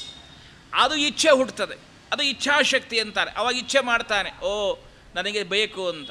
ಹಾಗಾದರೆ ಮಂಡಿಗೆ ಮಾಡೋರು ಎಲ್ಲಿ ಸಿಗ್ತಾರೆ? ಧಾರವಾಡದ ಕಡೆಗೆ ಸಿಗ್ತಾರೆ, ಹುಬ್ಬಳ್ಳಿ ಕಡೆ ಸಿಗ್ತಾರೆ ಅಂತ ಆಮೇಲೆ ಅವ್ರನ್ನ ಕರೆಸಿ, ಮಂಡಿಗೆ ಮಾಡಿಸಿ, ಸಾಕ್ಷಾತ್ ಭಗವಂತನಿಗೆ ನೈವೇದ್ಯ, ಗುರುಗಳಿಗೆ ಹಸ್ತೋರಕಾದಿಗಳನ್ನೆಲ್ಲ ತೋರಿಸಿ, ಬ್ರಾಹ್ಮಣರ ಭೋಜನ ಮಾಡಿಸಿ, ತಾನು ಸ್ವೀಕಾರ ಮಾಡ್ತಾನೆ. ಮುಂದೆ ಈ ಕ್ರಿಯಾಶಕ್ತಿ ಹುಟ್ಟಿತು ಮೊದಲು ಅದರ ಜ್ಞಾನ, ಅನಂತರದಲ್ಲಿ ಇಚ್ಛಾ ಅನಂತರದಲ್ಲಿ ಕ್ರಿಯ. ಈ ಶಕ್ತಿಯನ್ನು ಮನುಷ್ಯನಿಗೆ ಭಗವಂತ ಪ್ರಧಾನವಾಗಿ ಕೊಟ್ಟ. ರಜೋ ಅಧಿಕ ಕರ್ಮಪರಾಚ, ಅದರಲ್ಲಿ ಹೇಳ್ತಾನೆ. ಏನು ಅಂತಂದರೆ, ಮನುಷ್ಯನೊಳಗೆ ಸಾತ್ವಿಕ ಗುಣ ಪ್ರಧಾನವಾಗಿದ್ದರೆ ಅವನು ಅತ್ಯಂತ ಸಾತ್ವಿಕನಾಗ್ತಾನೆ. ಶ್ರದ್ಧೆ, ನಂಬಿಕೆ, ವಿಶ್ವಾಸ, ಆಚರಣೆ, ಸದಾಚಾರ ಭಾಳ ಸಾತ್ವಿಕನಾಗ್ತಾರೆ ಸತ್ವಗುಣ ಪ್ರಧಾನವಾದರೆ, ಒಟ್ಟು ಮೂರು ಗುಣಗಳು. ಸತ್ವಗುಣ ರಜೋಗುಣ ತಮೋಗುಣ ಯಾರಲ್ಲಿ ಯಾವ ಮನುಷ್ಯನೊಳಗೆ ರಜೋಗುಣ ಪ್ರಧಾನ ಇರ್ತದೆ, ಅವನು ಕರ್ಮಪರ, ಭಾರಿ ಕ್ರಿಯೇಟಿವಿಟಿ, ಭಾರಿ ಕ್ರಿಯಾಶೀಲತೆ. ಕ್ರಿಯಾಶೀಲನಾಗ್ತಾರೆ. ಹೀಗಾಗಿ ಅವ ಅಂತಹ ವ್ಯಕ್ತಿ ಅತ್ಯಂತ ಕ್ರಿಯೆ ಪ್ರಧಾನವಾಗ್ತದೆ. ಇನ್ನು ಯಾವ ವ್ಯಕ್ತಿಯಲ್ಲಿ ಅತ್ಯಂತ ತಮೋಗುಣ ಪ್ರಧಾನವಾಗ್ತದೆ, ಅವನು ತಮೋ ವ್ಯಕ್ತಿ ಆಗ್ತಾನೆ. ಈ ತರಹದಲ್ಲಿ ಸೃಷ್ಟಿಯ ಬಗ್ಗೆ ವಿಶೇಷವಾಗಿ ತಿಳಿದು ಹೇಳಿದ ಮೇಲೆ ಇನ್ನು ಹತ್ತನೆಯ ಸೃಷ್ಟಿ, ನೋಡಿ, ಈ ಮೇಲಿನ ಎಲ್ಲ ಸೃಷ್ಟಿಗಳನ್ನು ಮಾಡಿಕೊಂಡು ಬಂದು ಒಂಬತ್ತನೆಯ ಸೃಷ್ಟಿಯನ್ನು ಸಾಕ್ಷಾತ್ ಮನುಷ್ಯ ಸೃಷ್ಟಿ. ಮೊನ್, ಆ ಮೇಲಿನ ಎಲ್ಲ ಸೃಷ್ಟಿಗಳಿಗಿಂತಲೂ ಮಿಗಿಲಾದ ವಿಶಿಷ್ಟವಾದ ಸೃಷ್ಟಿ, ಅದು ಮನುಷ್ಯ ಸೃಷ್ಟಿ. ಆದರೆ ಮನುಷ್ಯ ವಿಚಾರ ಮಾಡಿದ, ಈ ಎಲ್ಲ ಎಂಟೂ ಸೃಷ್ಟಿಗಳನ್ನು ನನ್ನ ಹತೋಟಿಯಲ್ಲಿ ಇಟ್ಟುಕೊಳ್ಳುವ ಜ್ಞಾನಶಕ್ತಿ, ಇಚ್ಛಾಶಕ್ತಿ ಕ್ರಿಯಾಶಕ್ತಿಯನ್ನು ಭಗವಂತ ನನಗೆ ಕೊಟ್ಟ ಅಂತ ಇವನು ಹಾರಾಡ್ತಾನೆ ಅಂತ ಗೊತ್ತಿದ್ದೆ, ಮುಂದೆ ಹತ್ತನೆಯ ಸೃಷ್ಟಿಯಲ್ಲಿ ದೇವತೆಗಳ ಸೃಷ್ಟಿ ಮಾಡಿದ. ಯಾಕೆ ಅಂದರೆ, ನೀವೆಲ್ಲ ಹೀಗೆ ತಿಳ್ಕೊಂಡಿರಲ್ಲ, ದೇವಸರ್ಗಶ್ಚ ಅಷ್ಟವಿದೋ ವಿಭುದಾಹ ಪಿತುರೋ ಅಸುರಾಹ ಗಂಧರ್ವ ಅಪ್ಸರಸಃ ಸಿದ್ಧ ಯಕ್ಷ ರಕ್ಷಾಂಸಿಚಾರಣ ಭೂತ ಪ್ರೇತ ಪಿಶಾಶಾಶ್ಚ ವಿದ್ಯಾದ್ರಾಹ ಕಿನ್ನರಾದಯ ಹತ್ತನೆಯ ಸೃಷ್ಟಿಗಳಲ್ಲಿ ದೇವತೆಗಳು ಪಿತೃಗಳು. ಅಸುರರು, ಗಂಧರ್ವರು, ಅಪ್ಸರೆಯರು, ಯಕ್ಷರಾಕ್ಷಸರು, ಸಿದ್ಧರು, ಚಾರಣರು, ವಿದ್ಯಾಧರರು, ಭೂತಪ್ರೇತ ಪಿಶಾಚಿಗಳು, ಈ ತರಹದ ದೇವ ಸೃಷ್ಟಿಯನ್ನು ಎಂಟು ಪ್ರಕಾರವಾಗಿ ಈ ಎಲ್ಲ ಸೃಷ್ಟಿಗಳನ್ನು ಭಗವಂತ ಮಾಡಿಕೊಟ್ಟ. ಹೀಗಾಗಿ ಅವರಿಗಿಂತಲೂ, ಮನುಷ್ಯನಿಗಿಂತಲೂ ಇವರು ಶ್ರೇಷ್ಠ ಅಂತ ತೋರಿಸಿಕೊಟ್ಟ ಆ ದೇವತೆಗಳ ಅಧೀನ, ಭಗವಂತನ ಅಧೀನ. ನೋಡಿ, ದೇವರೂ ಬೇರೆ, ದೇವತೆಗಳೂ ಬೇರೆ. ದೇವರು ಅಂದರೆ ಸಾಕ್ಷಾತ್ ಭಗವಂತ. ಅವನ ಅಧೀನದಲ್ಲಿ ಇರತಕ್ಕಂಥವರು ದೇವತೆಗಳು, ಆ ದೇವತೆಗಳ ಅಧೀನದಲ್ಲಿರ್ತಕ್ಕಂಥವರು ಮನುಷ್ಯರು. ಹೀಗಾಗಿ ಮನುಷ್ಯ ತಾನೇ ಸ್ವತಂತ್ರ ಅಂತ ಹಾರಾಡಲಿಕ್ಕೆ ಸಾಧ್ಯ ಇಲ್ಲ. ಅದಕ್ಕಾಗಿ ಹಿಂದೆ ಹೇಳಿದಂತೆ ಕೆಲವು ದೇವತೆಗಳ ಉಪಾಸನೆ, ನೋಡಿ ದೇವತೆಗಳ ಸೃಷ್ಟಿ ಮಾಡಿದವನು ಪರಮಾತ್ಮನೇ. ಸ್ವತಃ ರುದ್ರದೇವರು ಹೇಳ್ತಾರೆ, ನನ್ನನ್ನೂ ಸೃಷ್ಟಿ ಮಾಡಿ, ನನಗೂ ಒಂದು ಕೈಲಾಸ ಎಂಬ ಕ್ಷೇತ್ರ ಕೊಟ್ಟು, ನನಗೂ ಪಾರ್ವತಿ ಎಂಬಿರತಕ್ಕಂತಹ ಸತೀದೇವಿ ಎಂಬ ಹೆಂಡತಿಯನ್ನು ಕೊಟ್ಟು ಬ್ರಹ್ಮದೇವರು ಹೇಳ್ತಾರೆ, ನನಗೂ ಸತ್ಯಲೋಕವನ್ನು ಕೊಟ್ಟು, ಸರಸ್ವತಿ ಎಂಬ ಹೆಂಡತಿಯನ್ನು ಕೊಟ್ಟು, ನನಗೂ ಕಾರ್ಯವನ್ನು ಕೊಟ್ಟವರು ಸಾಕ್ಷಾತ್ ಭಗವಂತ. ಹೀಗಾಗಿ ಈ ಎಲ್ಲ ಪರ ವಿಶೇಷವಾಗಿರ್ತಕ್ಕಂಥದ್ದಿದೆಯಲ್ಲ ಇದೆಲ್ಲವೂ ಸೃಷ್ಟಿ ಮಾಡಿದವನು ಪರಮಾತ್ಮ. ಅನ್ನುವ ವಿಷಯವನ್ನು ಭಾಗವತ ನಮಗೆ ಅತ್ಯಂತ ಸ್ಪಷ್ಟವಾಗಿ, ಶುದ್ಧವಾಗಿ ತಿಳಿಸಿಕೊಡ್ತದೆ. ಅಂತಹ ಸೃಷ್ಟಿಯ ವಿಷಯವನ್ನು ನಿರೂಪಣೆ ಮಾಡ್ತಾ, ಪರಮೇಷ್ಠಿ ಬ್ರಹ್ಮ ಮುಂದೆ ಮನುವಿನ ಸಂತಾನವನ್ನು ವಿಶೇಷವಾಗಿ ಬೆಳೆಸಬೇಕು. ಅದಕ್ಕಾಗಿ ಹಾಗಾದರೆ ಮನು ವಿಶಿಷ್ಟವಾಗಿರ್ತಕ್ಕಂತಹ ಸಂತಾನ, ಹೊತ್ತ ಮೊದಲಿಗೆ ಹುಟ್ಟಿರತಕ್ಕಂಥವನು ಸ್ವಯಂಭೂಮನು. ಬ್ರಹ್ಮದೇವರಿಂದ ಒಂದು ದೇಹ ಬತ್ತು. ಅದು ಸ್ವಯಂಭೂ ಮನು ಆದ. ಅನಂತರದಲ್ಲಿ ಹುಟ್ಟಿದವಳು ಶತರೂಪ. ಈ ಶತರೂಪ ಸಾಕ್ಷಾತ್ ಸ್ವಯಂಭೂ ಮನು ನೋಡಿ, ಅವರ ಇಬ್ಬರ ಮದುವೆ ಆಯಿತು. ಶತರೂಪ ಸಾಕ್ಷಾತ್ ಸ್ವಯಂಭೂ ಮನು ಆ ಸ್ವಯಂಭೂ ಮನುವಿಗೆ ಮನ್ವಂಥರಾನು ಕಥಾ ಅಂತ ಭಾಗವತದ ಲಕ್ಷಣ ಹೇಳಿದೆ. ಸರ್ಗ, ವಿಸರ್ಗ, ನಿರೋಧೋ, ಮುಕ್ತಿರಾಶ್ರಯ, ಊತಿ ಕರ್ಮವಾಸ ಎಲ್ಲವೂ ಹೇಳ್ಕೊಂಬರ್ತದೆ ಭಾಗವತದ ದಶವಿಧ ಲಕ್ಷಣಗಳನ್ನು ಹೇಳ್ತದೆ ಭಾಗವತ. ಸರ್ಕದ ಬಗ್ಗೆ ಆಗಿರಬಹುದು, ವಿಸೋ ವಿಸರ್ಗದ ಬಗ್ಗೆ ಆಗಿರಬಹುದು, ನಿರೋಧ ಸಂಹಾರದ ಬಗ್ಗೆ ಆಗಿರಬಹುದು ಅಷ್ಟು ಮಾತ್ರ ಅಲ್ಲ ಊತಿ ಕರ್ಮವಾಸನದ ಬಗ್ಗೆ ಆಗಿರಬಹುದು. ಮನ್ವಂಥರ ಈಶಾನು ಮನ್ವಂತರ ಅನುಕಥ ಕಥಾ ಅಂದರೆ ಇಡೀ ಮನ್ವಂಥರ ಚರಿತ್ರೆ. ನಮಗೆ ಈ ಮನ್ವಂತರ ಚರಿತ್ರೆ ಅಂತಂದರೆ ಇದು ಸ್ವಯಂಭೂ ಮನುವಿನ ಚರಿತ್ರೆ ಒಳಗೆ. ಮೊದಲನೇ ಮಗಳೇ ಸಾಕ್ಷಾತ್ ದೇವಹೂತಿ. ದೇವಹೂತಿ ಮೂರು ಜನ, ಒಟ್ಟು ಮನುವಿಗೆ, ಸ್ವಯಂಭೂ ಮನುವಿಗೆ, ಮೊಟ್ಟ ಮೊದಲ ಮನು ಸಾಕ್ಷಾತ್ ಸ್ವಯಂಭೂ ಮನು. ಅವನಿಗಿರ್ತಕ್ಕಂತಹ ಮೂರು ಜನ ಹೆಣ್ಣುಮಕ್ಕಳು ಒಬ್ಬಳು ಸಾಕ್ಷಾತ್ ದೇವಭೂತಿ ಆಕೂತಿ, ಪ್ರಸೂತಿ. ಇಬ್ಬರು ಗಂಡಸು ಮಕ್ಕಳು, ಒಬ್ಬ ಪ್ರಿಯವೃತ ಮಹಾರಾಜ, ಇನ್ನೊಬ್ಬ ಉತ್ಥಾನ ಪಾದರಾಜ ಇವರ ಇಡೀ ಚರಿತ್ರೆನೇ ಐದನೇ ಸ್ಕಂದ ತನಕ ಮುಗಿದು ಹೋಗ್ಬಿಡ್ತು. ಮನ್ವಂಥರ ಅನ್ನೋ ಕಥಾ ಬಂದ್ಬಿಡ್ತು. ಇವ್ರದ್ದು ಇಡೀ ಫ್ಯಾಮಿಲಿ ಟ್ರೀ ಏನದ? ಐದನೇ ಸ್ಕಂದದವರೆಗೂ ಇವ್ರದೇ ಆಗ್ತದೆ ಬರೀ ಇವ್ರದೇ ಕೆಲಸ. ಈ ಮನ್ವಂಥರ ಚರಿತ್ರೆಗಳು ಸಾಕಷ್ಟು ವಿಶೇಷವಾಗಿ ಮುಂದೆ ಸಾವರ್ಣಿ ಮನ್ವಂಥರ ಬೇರಷ್ಟು ಬಹಳಷ್ಟು ಮನ್ವಂಥರಗಳಿದೆ ಈ ವಿಶೇಷವಾದ ಮನ್ವಂಥರಗಳ ಬಗ್ಗೆ ಮುಂದೆ ವರ್ಣಿಸ್ತಾರೆ. ಹಾಗಾದರೆ ಇಲ್ಲಿ ಬಂದಿರತಕ್ಕಂತಹ ದೇವಭೂತಿ, ಹಾಗಾದರೆ ಆ ದೇವಭೂತಿಯನ್ನು ಮದುವೆ ಮಾಡಿ ಕೊಡಬೇಕು ಸ್ವಯಂಭೂಮನು ದೇವಭೂತಿಗೆ, ಯಾಕಂದರೆ ಅವಳ ಹೆಸರೇ ನೋಡಿ ಹೇಗಿದೆ. ಶಬ್ದ ಇಟ್ಟರೆ ಆ ಶಬ್ದಕ್ಕೆ ನಿರ್ವಚನ ಕೊಡುವ ಸಾಮರ್ಥ್ಯ ಸಂಸ್ಕೃತ ಭಾಷೆಗೆ ಇದೆ. ಹೆಸರು ಹೇಗಿದೆ ನೋಡಿ, ದೇವಭೂತಿ. ದೇವಭೂತಿ ಅಂದರೆ ದೇವಂ ಆಹೂತವತಿ ದೇವಭೂತಿ ಅಂತ. ದೇವರನ್ನು ಆಹ್ವಾನ ಮಾಡ್ತಾಳೆ, ಅಂದರೆ ದೇವರನ್ನು ಬೇಕು ಅಂತ ಅಪೇಕ್ಷೆ ಪಡ್ತಾಳೆ. ಅದಕ್ಕಾಗಿ ಸಾಕ್ಷಾತ್ ಕಪಿಲನಾಮಕ ಪರಮಾತ್ಮ ಅವತರಿಸಿ ಬಂದ. ಇದು ಸಂಸ್ಕೃತದ ವೈಶಿಷ್ಟ್ಯ. ಇಟ್ಟ ಹೆಸರುಗಳು ಯಾಕೆ ಬಂತು ಅಂತ ಹೇಳೋದು ಸಂಸ್ಕೃತದ ವೈಶಿಷ್ಟ್ಯ. ಅಗ್ನಿ ಅಂತ ಇದೆ, ಯಾಕೆ ಅಗ್ನಿ? ಅಗ್ರೇ ನಯತಿ, ನಮ್ಮನ್ನು ಮುಂದೆ ಕರ್ಕೊಂಡು ಹೋಗೋದೇ ಅಗ್ನಿ. ಒಳಗಡೆ ಇರುವ ವಿಶೇಷವಾಗಿರ್ತಕ್ಕಂತಹ ಜಠರಾಗ್ನಿ ಇದೆಯಲ್ಲ, ನೋಡಿ ತಿಂದ ಆಹಾರವನ್ನು ಜೀರ್ಣ ಮಾಡ್ತದೆ ಅನ್ನೋದಕ್ಕಾಗಿ ನಮ್ಮ ಆಯುಷ್ಯ ಮುಂದೆ ಹೋಗ್ತಾ ಇದೆ. ಅದೇ ನಿಂತ್ಕೊಳ್ತು ಅಗ್ನಿ, ಮೈ ಟೆಂಪ್ರೇಚರ್ ಕಡಿಮೆ ಆಯಿತು ಅಥವಾ ನಾರ್ಮಲ್ ತಂಪಾಯಿತು ಅಂದರೆ ಅವನು ಕೃಷ್ಣಾರ್ಪಣ ಮಸ್ತು ಆದ ಅಂತಲೇ ಅರ್ಥ. ಎಲ್ಲ ಕಡೆಗೂ ಅಗ್ನಿಯೇ ನಮ್ಮನ್ನು ಕಾಯ್ತಕ್ಕಂತಹ ಅಗ್ರೇ ನಯತಿ. ಎಲ್ಲದರೊಳಗೂ ಸಾಕ್ಷಾತ್ ಅಗ್ನಿ ಪ್ರಧಾನ. ನೋಡಿ, ಅದಕ್ಕಾಗಿ ಅಗ್ನಿ ಅಂತ ಕರೆದು. ಪ್ರತಿಯೊಂದು ಶಬ್ದಗಳಿಗೆ ಎಟಮಾಲಜಿಕಲ್ ಮೀನಿಂಗ್ ಅಂದರೆ ಒಂದು ನಿರ್ವಚನ ಕೊಡ್ತಕ್ಕಂತಹ ಸಾಮರ್ಥ್ಯ ಅದು ಸಂಸ್ಕೃತ ಭಾಷೆಗೆ ಇದೆ. ಎಷ್ಟೋ ಭಾಷೆಗಳು, ಸಂಸ್ಕೃತ ಶಬ್ದಗಳು ಆಂಗ್ಲ ಭಾಷೆಗೆ ಬಂದಿದೆ ಗೊತ್ತಿಲ್ಲ ನಮಗೆ. ನೋಡಿ ತ್ರಿಕೋಣ ಮಿತಿ ಅಂತ ಸಂಸ್ಕೃತದ್ದು, ಅದು ಟ್ರಿಗನೋಮೀಟ್ರಿ ಅಂತ ಆಯಿತು ಜಾಮಿತಿ ಇದು ಜಾಮಿತಿ, ಅದು ಜಾಮಿಟ್ರಿ ಅಂತ ಆಯಿತು ಅಷ್ಟು ಮಾತ್ರ ಅಲ್ಲ, ಸೂನು ಅಂದರೆ ಮಗ, ಅದೇ ಇಂಗ್ಲೀಷಲ್ಲಿ ಸನ್ ಅಂತ ಆಯಿತು. ಅಷ್ಟು ಮಾತ್ರ ಅಲ್ಲ ಮರ್ಧನ ಅಂದರೆ ನಾಶ ಮಾಡೋದು ಅಂತ, ಅದೇ ಇಂಗ್ಲೀಷ್ ಒಳಗೆ ಮರ್ಡರ್ ಅಂತ ಆಯಿತು. ಯಾರು ಕೈಯನ್ನು ಹಿಡಿದುಕೊಳ್ತಾನಲ್ಲ, ಧರ್ಮೇಚ ಅರ್ಥೇಚ ಕಾಮೇಚ, ನ ಅತಿಚರಾಮಿ ನ ಅತಿಚರಾಮಿ ಅಂತ ಹೇಳಿ ಸಂಕಲ್ಪ ಮಾಡಿ ಹಸ್ತಬಂಧ ಯಾರು ಮಾಡಿಕೊಳ್ತಾನಲ್ಲ, ಅವನೇ ಹಜಬಂಡ್ ಅಂತ ಇಂಗ್ಲೀಷ್ ಒಳಗೆ ಕರೆದು. ಹೀಗೆ ಸಾಕಷ್ಟು ಶಬ್ದಗಳು, ನಾಸಿಕ ನೋಸ್ ಅಂತಾಯಿತು ಪಿತೃ ಫಾದರ್ ಅಂತಾಯಿತು, ಮಾತೃ ಮದರ್ ಅಂತಾಯಿತು ವರ್ಚ್ಯೂ ವರ್ಚಸ್, ಅದೇ ವರ್ಚ್ಯೂ ಅಂತಾಯಿತು. ಎಷ್ಟು ಶಬ್ದಗಳು, ಒಂದು ದೊಡ್ಡ ಲಿಸ್ಟೇ ಕೊಡಬಹುದು ನಿಮಗೆ. ಈ ಶಬ್ದಗಳು ಹೇಗೆ ಬಂತು ಅಂತ ಹೇಳಿದ್ರೆ ಸಂಸ್ಕೃತದ ಮೂಲದಿಂದ ಬಂದಿತ್ತು. ನಮಗೆ ಗೊತ್ತಿಲ್ಲ ಇದು ಸಂಸ್ಕೃತದ ಮೂಲದಿಂದ ಬಂದದ್ದು ಅಂತ. ಆದರೆ ಬಹಳಷ್ಟು ವಿಶಿಷ್ಟವಾದದ್ದು ಸಂಸ್ಕೃತ ಭಾಷೆ. ನಾನು ಯಾಕೆ ಇದನ್ನು ಹೇಳ್ತಾ ಇದ್ದೇನೆ ಅಂದರೆ ಪ್ರತಿ ಶಬ್ದಗಳಿಗೆ ನಿರ್ವಚನ ಕೊಡುವ ಶಬ್ದ, ವಿಶೇಷವಾದ ಭಾಷೆ ಇದೆಯಲ್ಲ, ಅದು ಸಂಸ್ಕೃತ ಭಾಷೆ. ಹೀಗಾಗಿ ದೇವಭೂತಿಯನ್ನು ಪಡೆದುಕೊಂಡ ಸಾಕ್ಷಾತ್ ಸ್ವಯಂಭೂಮನು ಆ ಶಬ್ದವೇ ಹೇಳುತ್ತದೆ, ದೇವಂ ಅಹೂತವತಿ, ದೇವರನ್ನು ವಿಶೇಷವಾಗಿ ಪಡೆದುಕೊಳ್ಳಬೇಕು ಅಂತ. ಯಾರಿಗೆ ಕೊಟ್ಟ? ನಮಗೆಲ್ಲ ಇವತ್ತು ವಯಸ್ಸಿಗೆ ಬಂದಮೇಲೆ ಹೆಣ್ಣು ಮಕ್ಕಳಿಗೆ ಯಾರಿಗೆ ಕೊಡಬೇಕು ಅಂತ ಎಲ್ಲರಿಗೂ ತಲೆಬೆಸೆ. ಯಾರಿಗೆ ತಲೆಬೆಸೆ? ಕಪಿಗಳಿಗೆ. ಕಪಿ ಅಂದರೆ ಯಾರು? ಕನ್ಯಾಪಿತೃಗಳಿಗೆ ಕಪಿಗಳು ಅಂತ ಕರೀತಾರೆ. ಇದೆಲ್ಲರಿಗೂ ತಲೆನೋವು ಇದ್ದೇ ಇರ್ತದೆ. ಮನೆಯೊಳಗೆ ಹೆಣ್ಣು ಮಕ್ಕಳು ಬೆಳೆದ ಮೇಲೆ ನಮ್ಮ ಅಳಿಯನ್ನು ಎಂಥವು ನೋಡಬೇಕು. ಕನ್ಯಾ ವರೇತೆ ರೂಪಂ ಮಾತಾವಿತ್ತಂ ಪಿತಾಶ್ರಿತಂ, ಬಾಂಧವಾನಂ ಕುಲಮಿಚ್ಛಂತೆ ಮೃಷ್ಟಾನ್ನ ಇತರೇ ಜನ. ಅದಕ್ಕಾಗಿ ಸಂಸ್ಕೃತ ಸುಭಾಷಿತ ಹೇಳಿಬಿಡ್ತದೆ. ಏನು ಅಂದರೆ ಕನ್ಯಾ ತಾಯಿ ವರ ರೂಪನೋ ಅಥವಾ ಏನೋ ವಿದ್ಯಾ ಜ್ಞಾನ ನೋಡೋದಿಲ್ಲಂತೆ ವರ ಶ್ರೀಮಂತ ಇದ್ದಾನೆಲ್ಲ ನೋಡ್ತಾಳೆ ಅಷ್ಟೇ. ನಾಲ್ಕು ಮಂದಿ ಮುಂದೆ ಹೇಳ್ಕೊಳ್ಳಿಕ್ಕೆ ಬೇಕಲ್ಲ. ಏ, ನಮ್ಮ ಮಗ ಭಾರಿ ಶ್ರೀಮಂತಿದ್ದಾನ ಭಾಳ ದೊಡ್ಡ ಕೆಲಸ ಮಾಡ್ತಾನಂತ. ಇನ್ನು ತಂದೆ ಆದವನು ಸ್ವಲ್ಪ ವಿದ್ಯಾ ಜ್ಞಾನ ಬುದ್ಧಿ ನೋಡ್ತಾರಂತ. ಇನ್ನು ಬಂಧು ಬಾಂಧವರು ಕುಲ ನೋಡ್ತಾರಂತ. ಇನ್ನು ನಮ್ಮ ನಿಮ್ಮಂಥವರೆಲ್ಲ ಏನು ಅಂದರೆ ಮದುವೆ ಹೋದಾಗ ಚೆನ್ನಾಗಿ ಮಂಡಿಗೆ ಮಾಡಿ ಊಟಕ್ಕೆ ಹಾಕಿದ್ರೆ ಭಾರಿ ಇದ್ದಾರೆ ಅಂತಂತೀವಿ. ಮುಂದೆ ಬೇಕಾರೆ ಆ ಬೀಗರು ಬಡದಾಡಿ ಬೇಕಾರೆ. ಆದರೆ ಭಾರಿ ಚೆನ್ನಾಗಿದೆ, ಮೃಷ್ಟಾನ್ನ ಇತರೆ ಜನ. ಹಾಗಾದರೆ ವರ ಹುಡುಕುವುದು ಎಂತಹದು? ಸಾಕ್ಷಾತ್ ಅಖಂಡ ಚಕ್ರಾಧಿಪತ್ಯ ಇರತಕ್ಕಂಥದ್ದು ಸ್ವಯಂಭೂ ಮನುವಿನ ಮೊಟ್ಟ ಮೊದಲ ರಾಜ. ಹಾಗಾದರೆ ಮೊಟ್ಟ ಮೊದಲ ರಾಜನಾಗಿರ್ತಕ್ಕಂತಹ ಸಾಕ್ಷಾತ್ ಸ್ವಯಂಭೂಮನು. ನೋಡಿ, ಚಕ್ರಾಧಿಪತ್ಯ ಅಂತ ಶಬ್ದ ಬಂತು.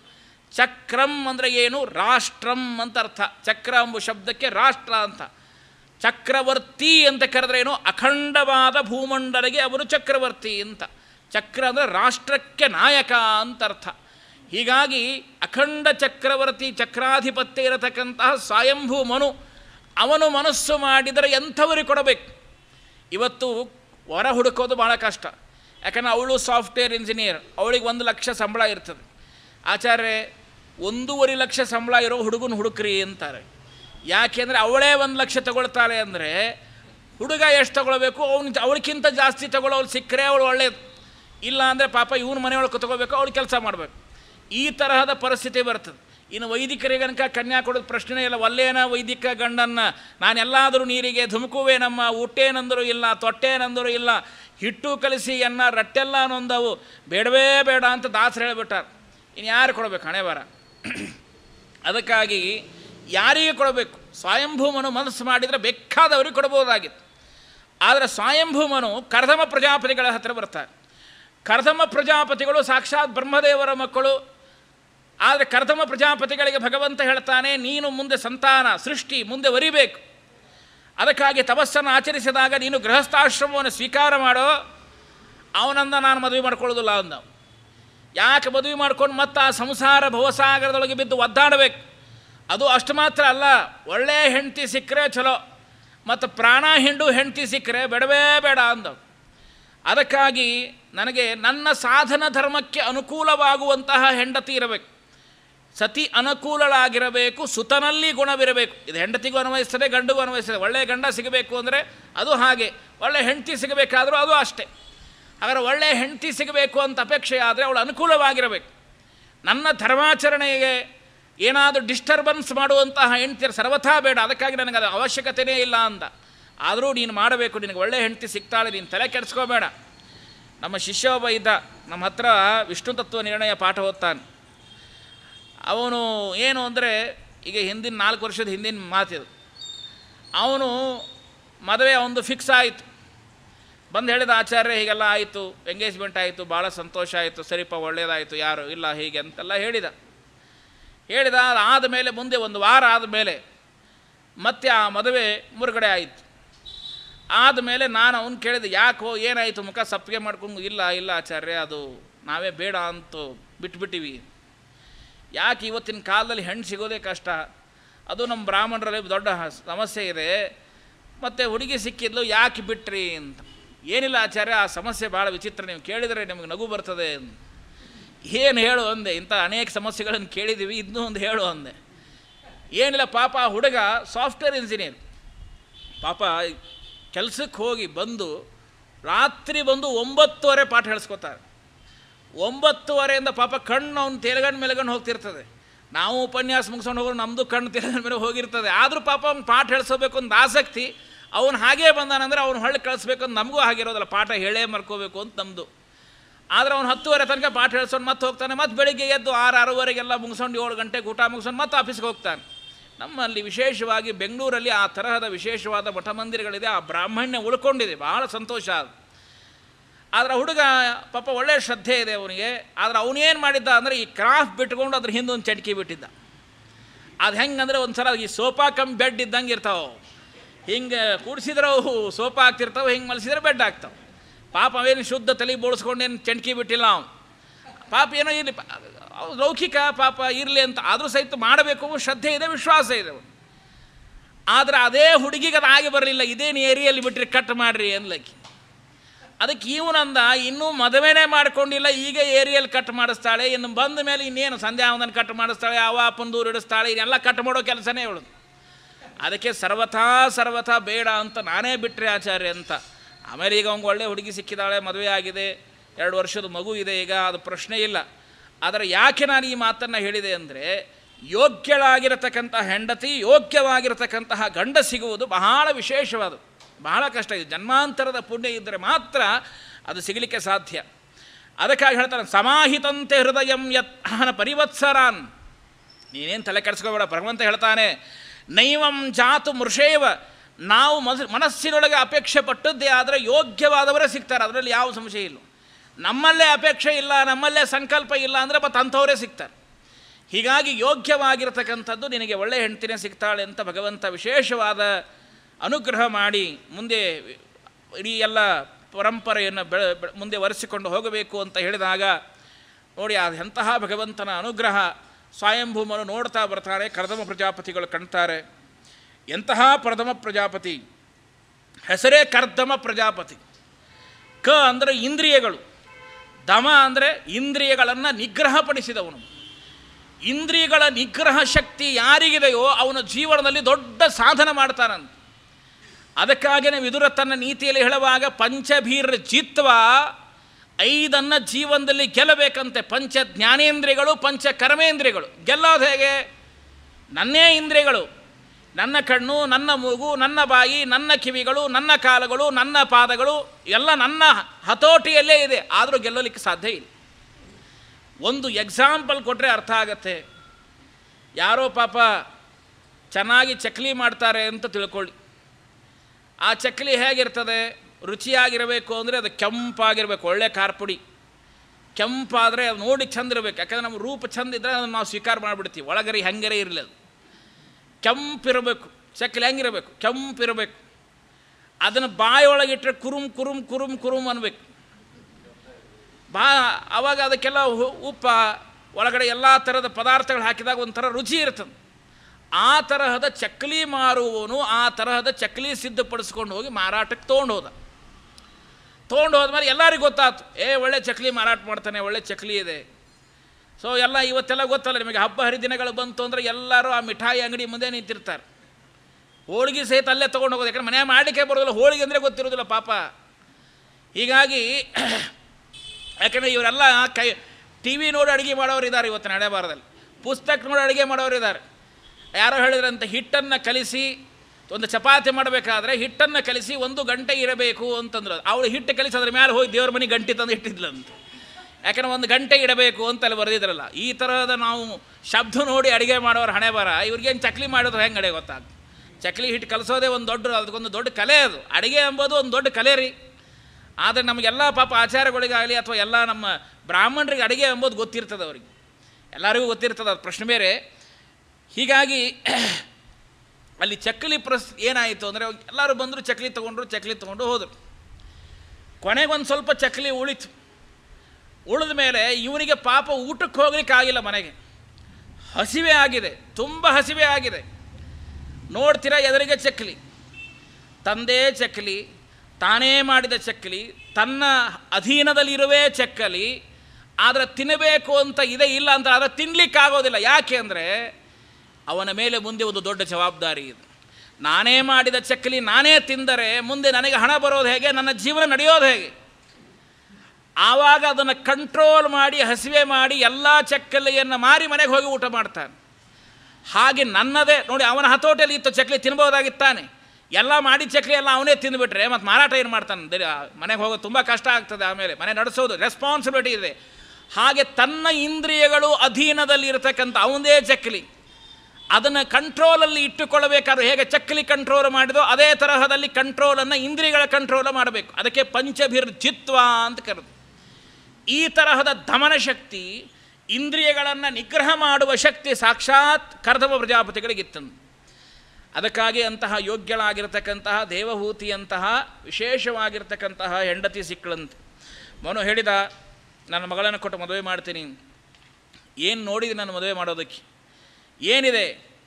ಆದರೆ ಹೇಳ್ತಾರೆ ಬ್ರಾಹ್ಮ ವಿಧ ಮೂಲಕವಾಗಿ.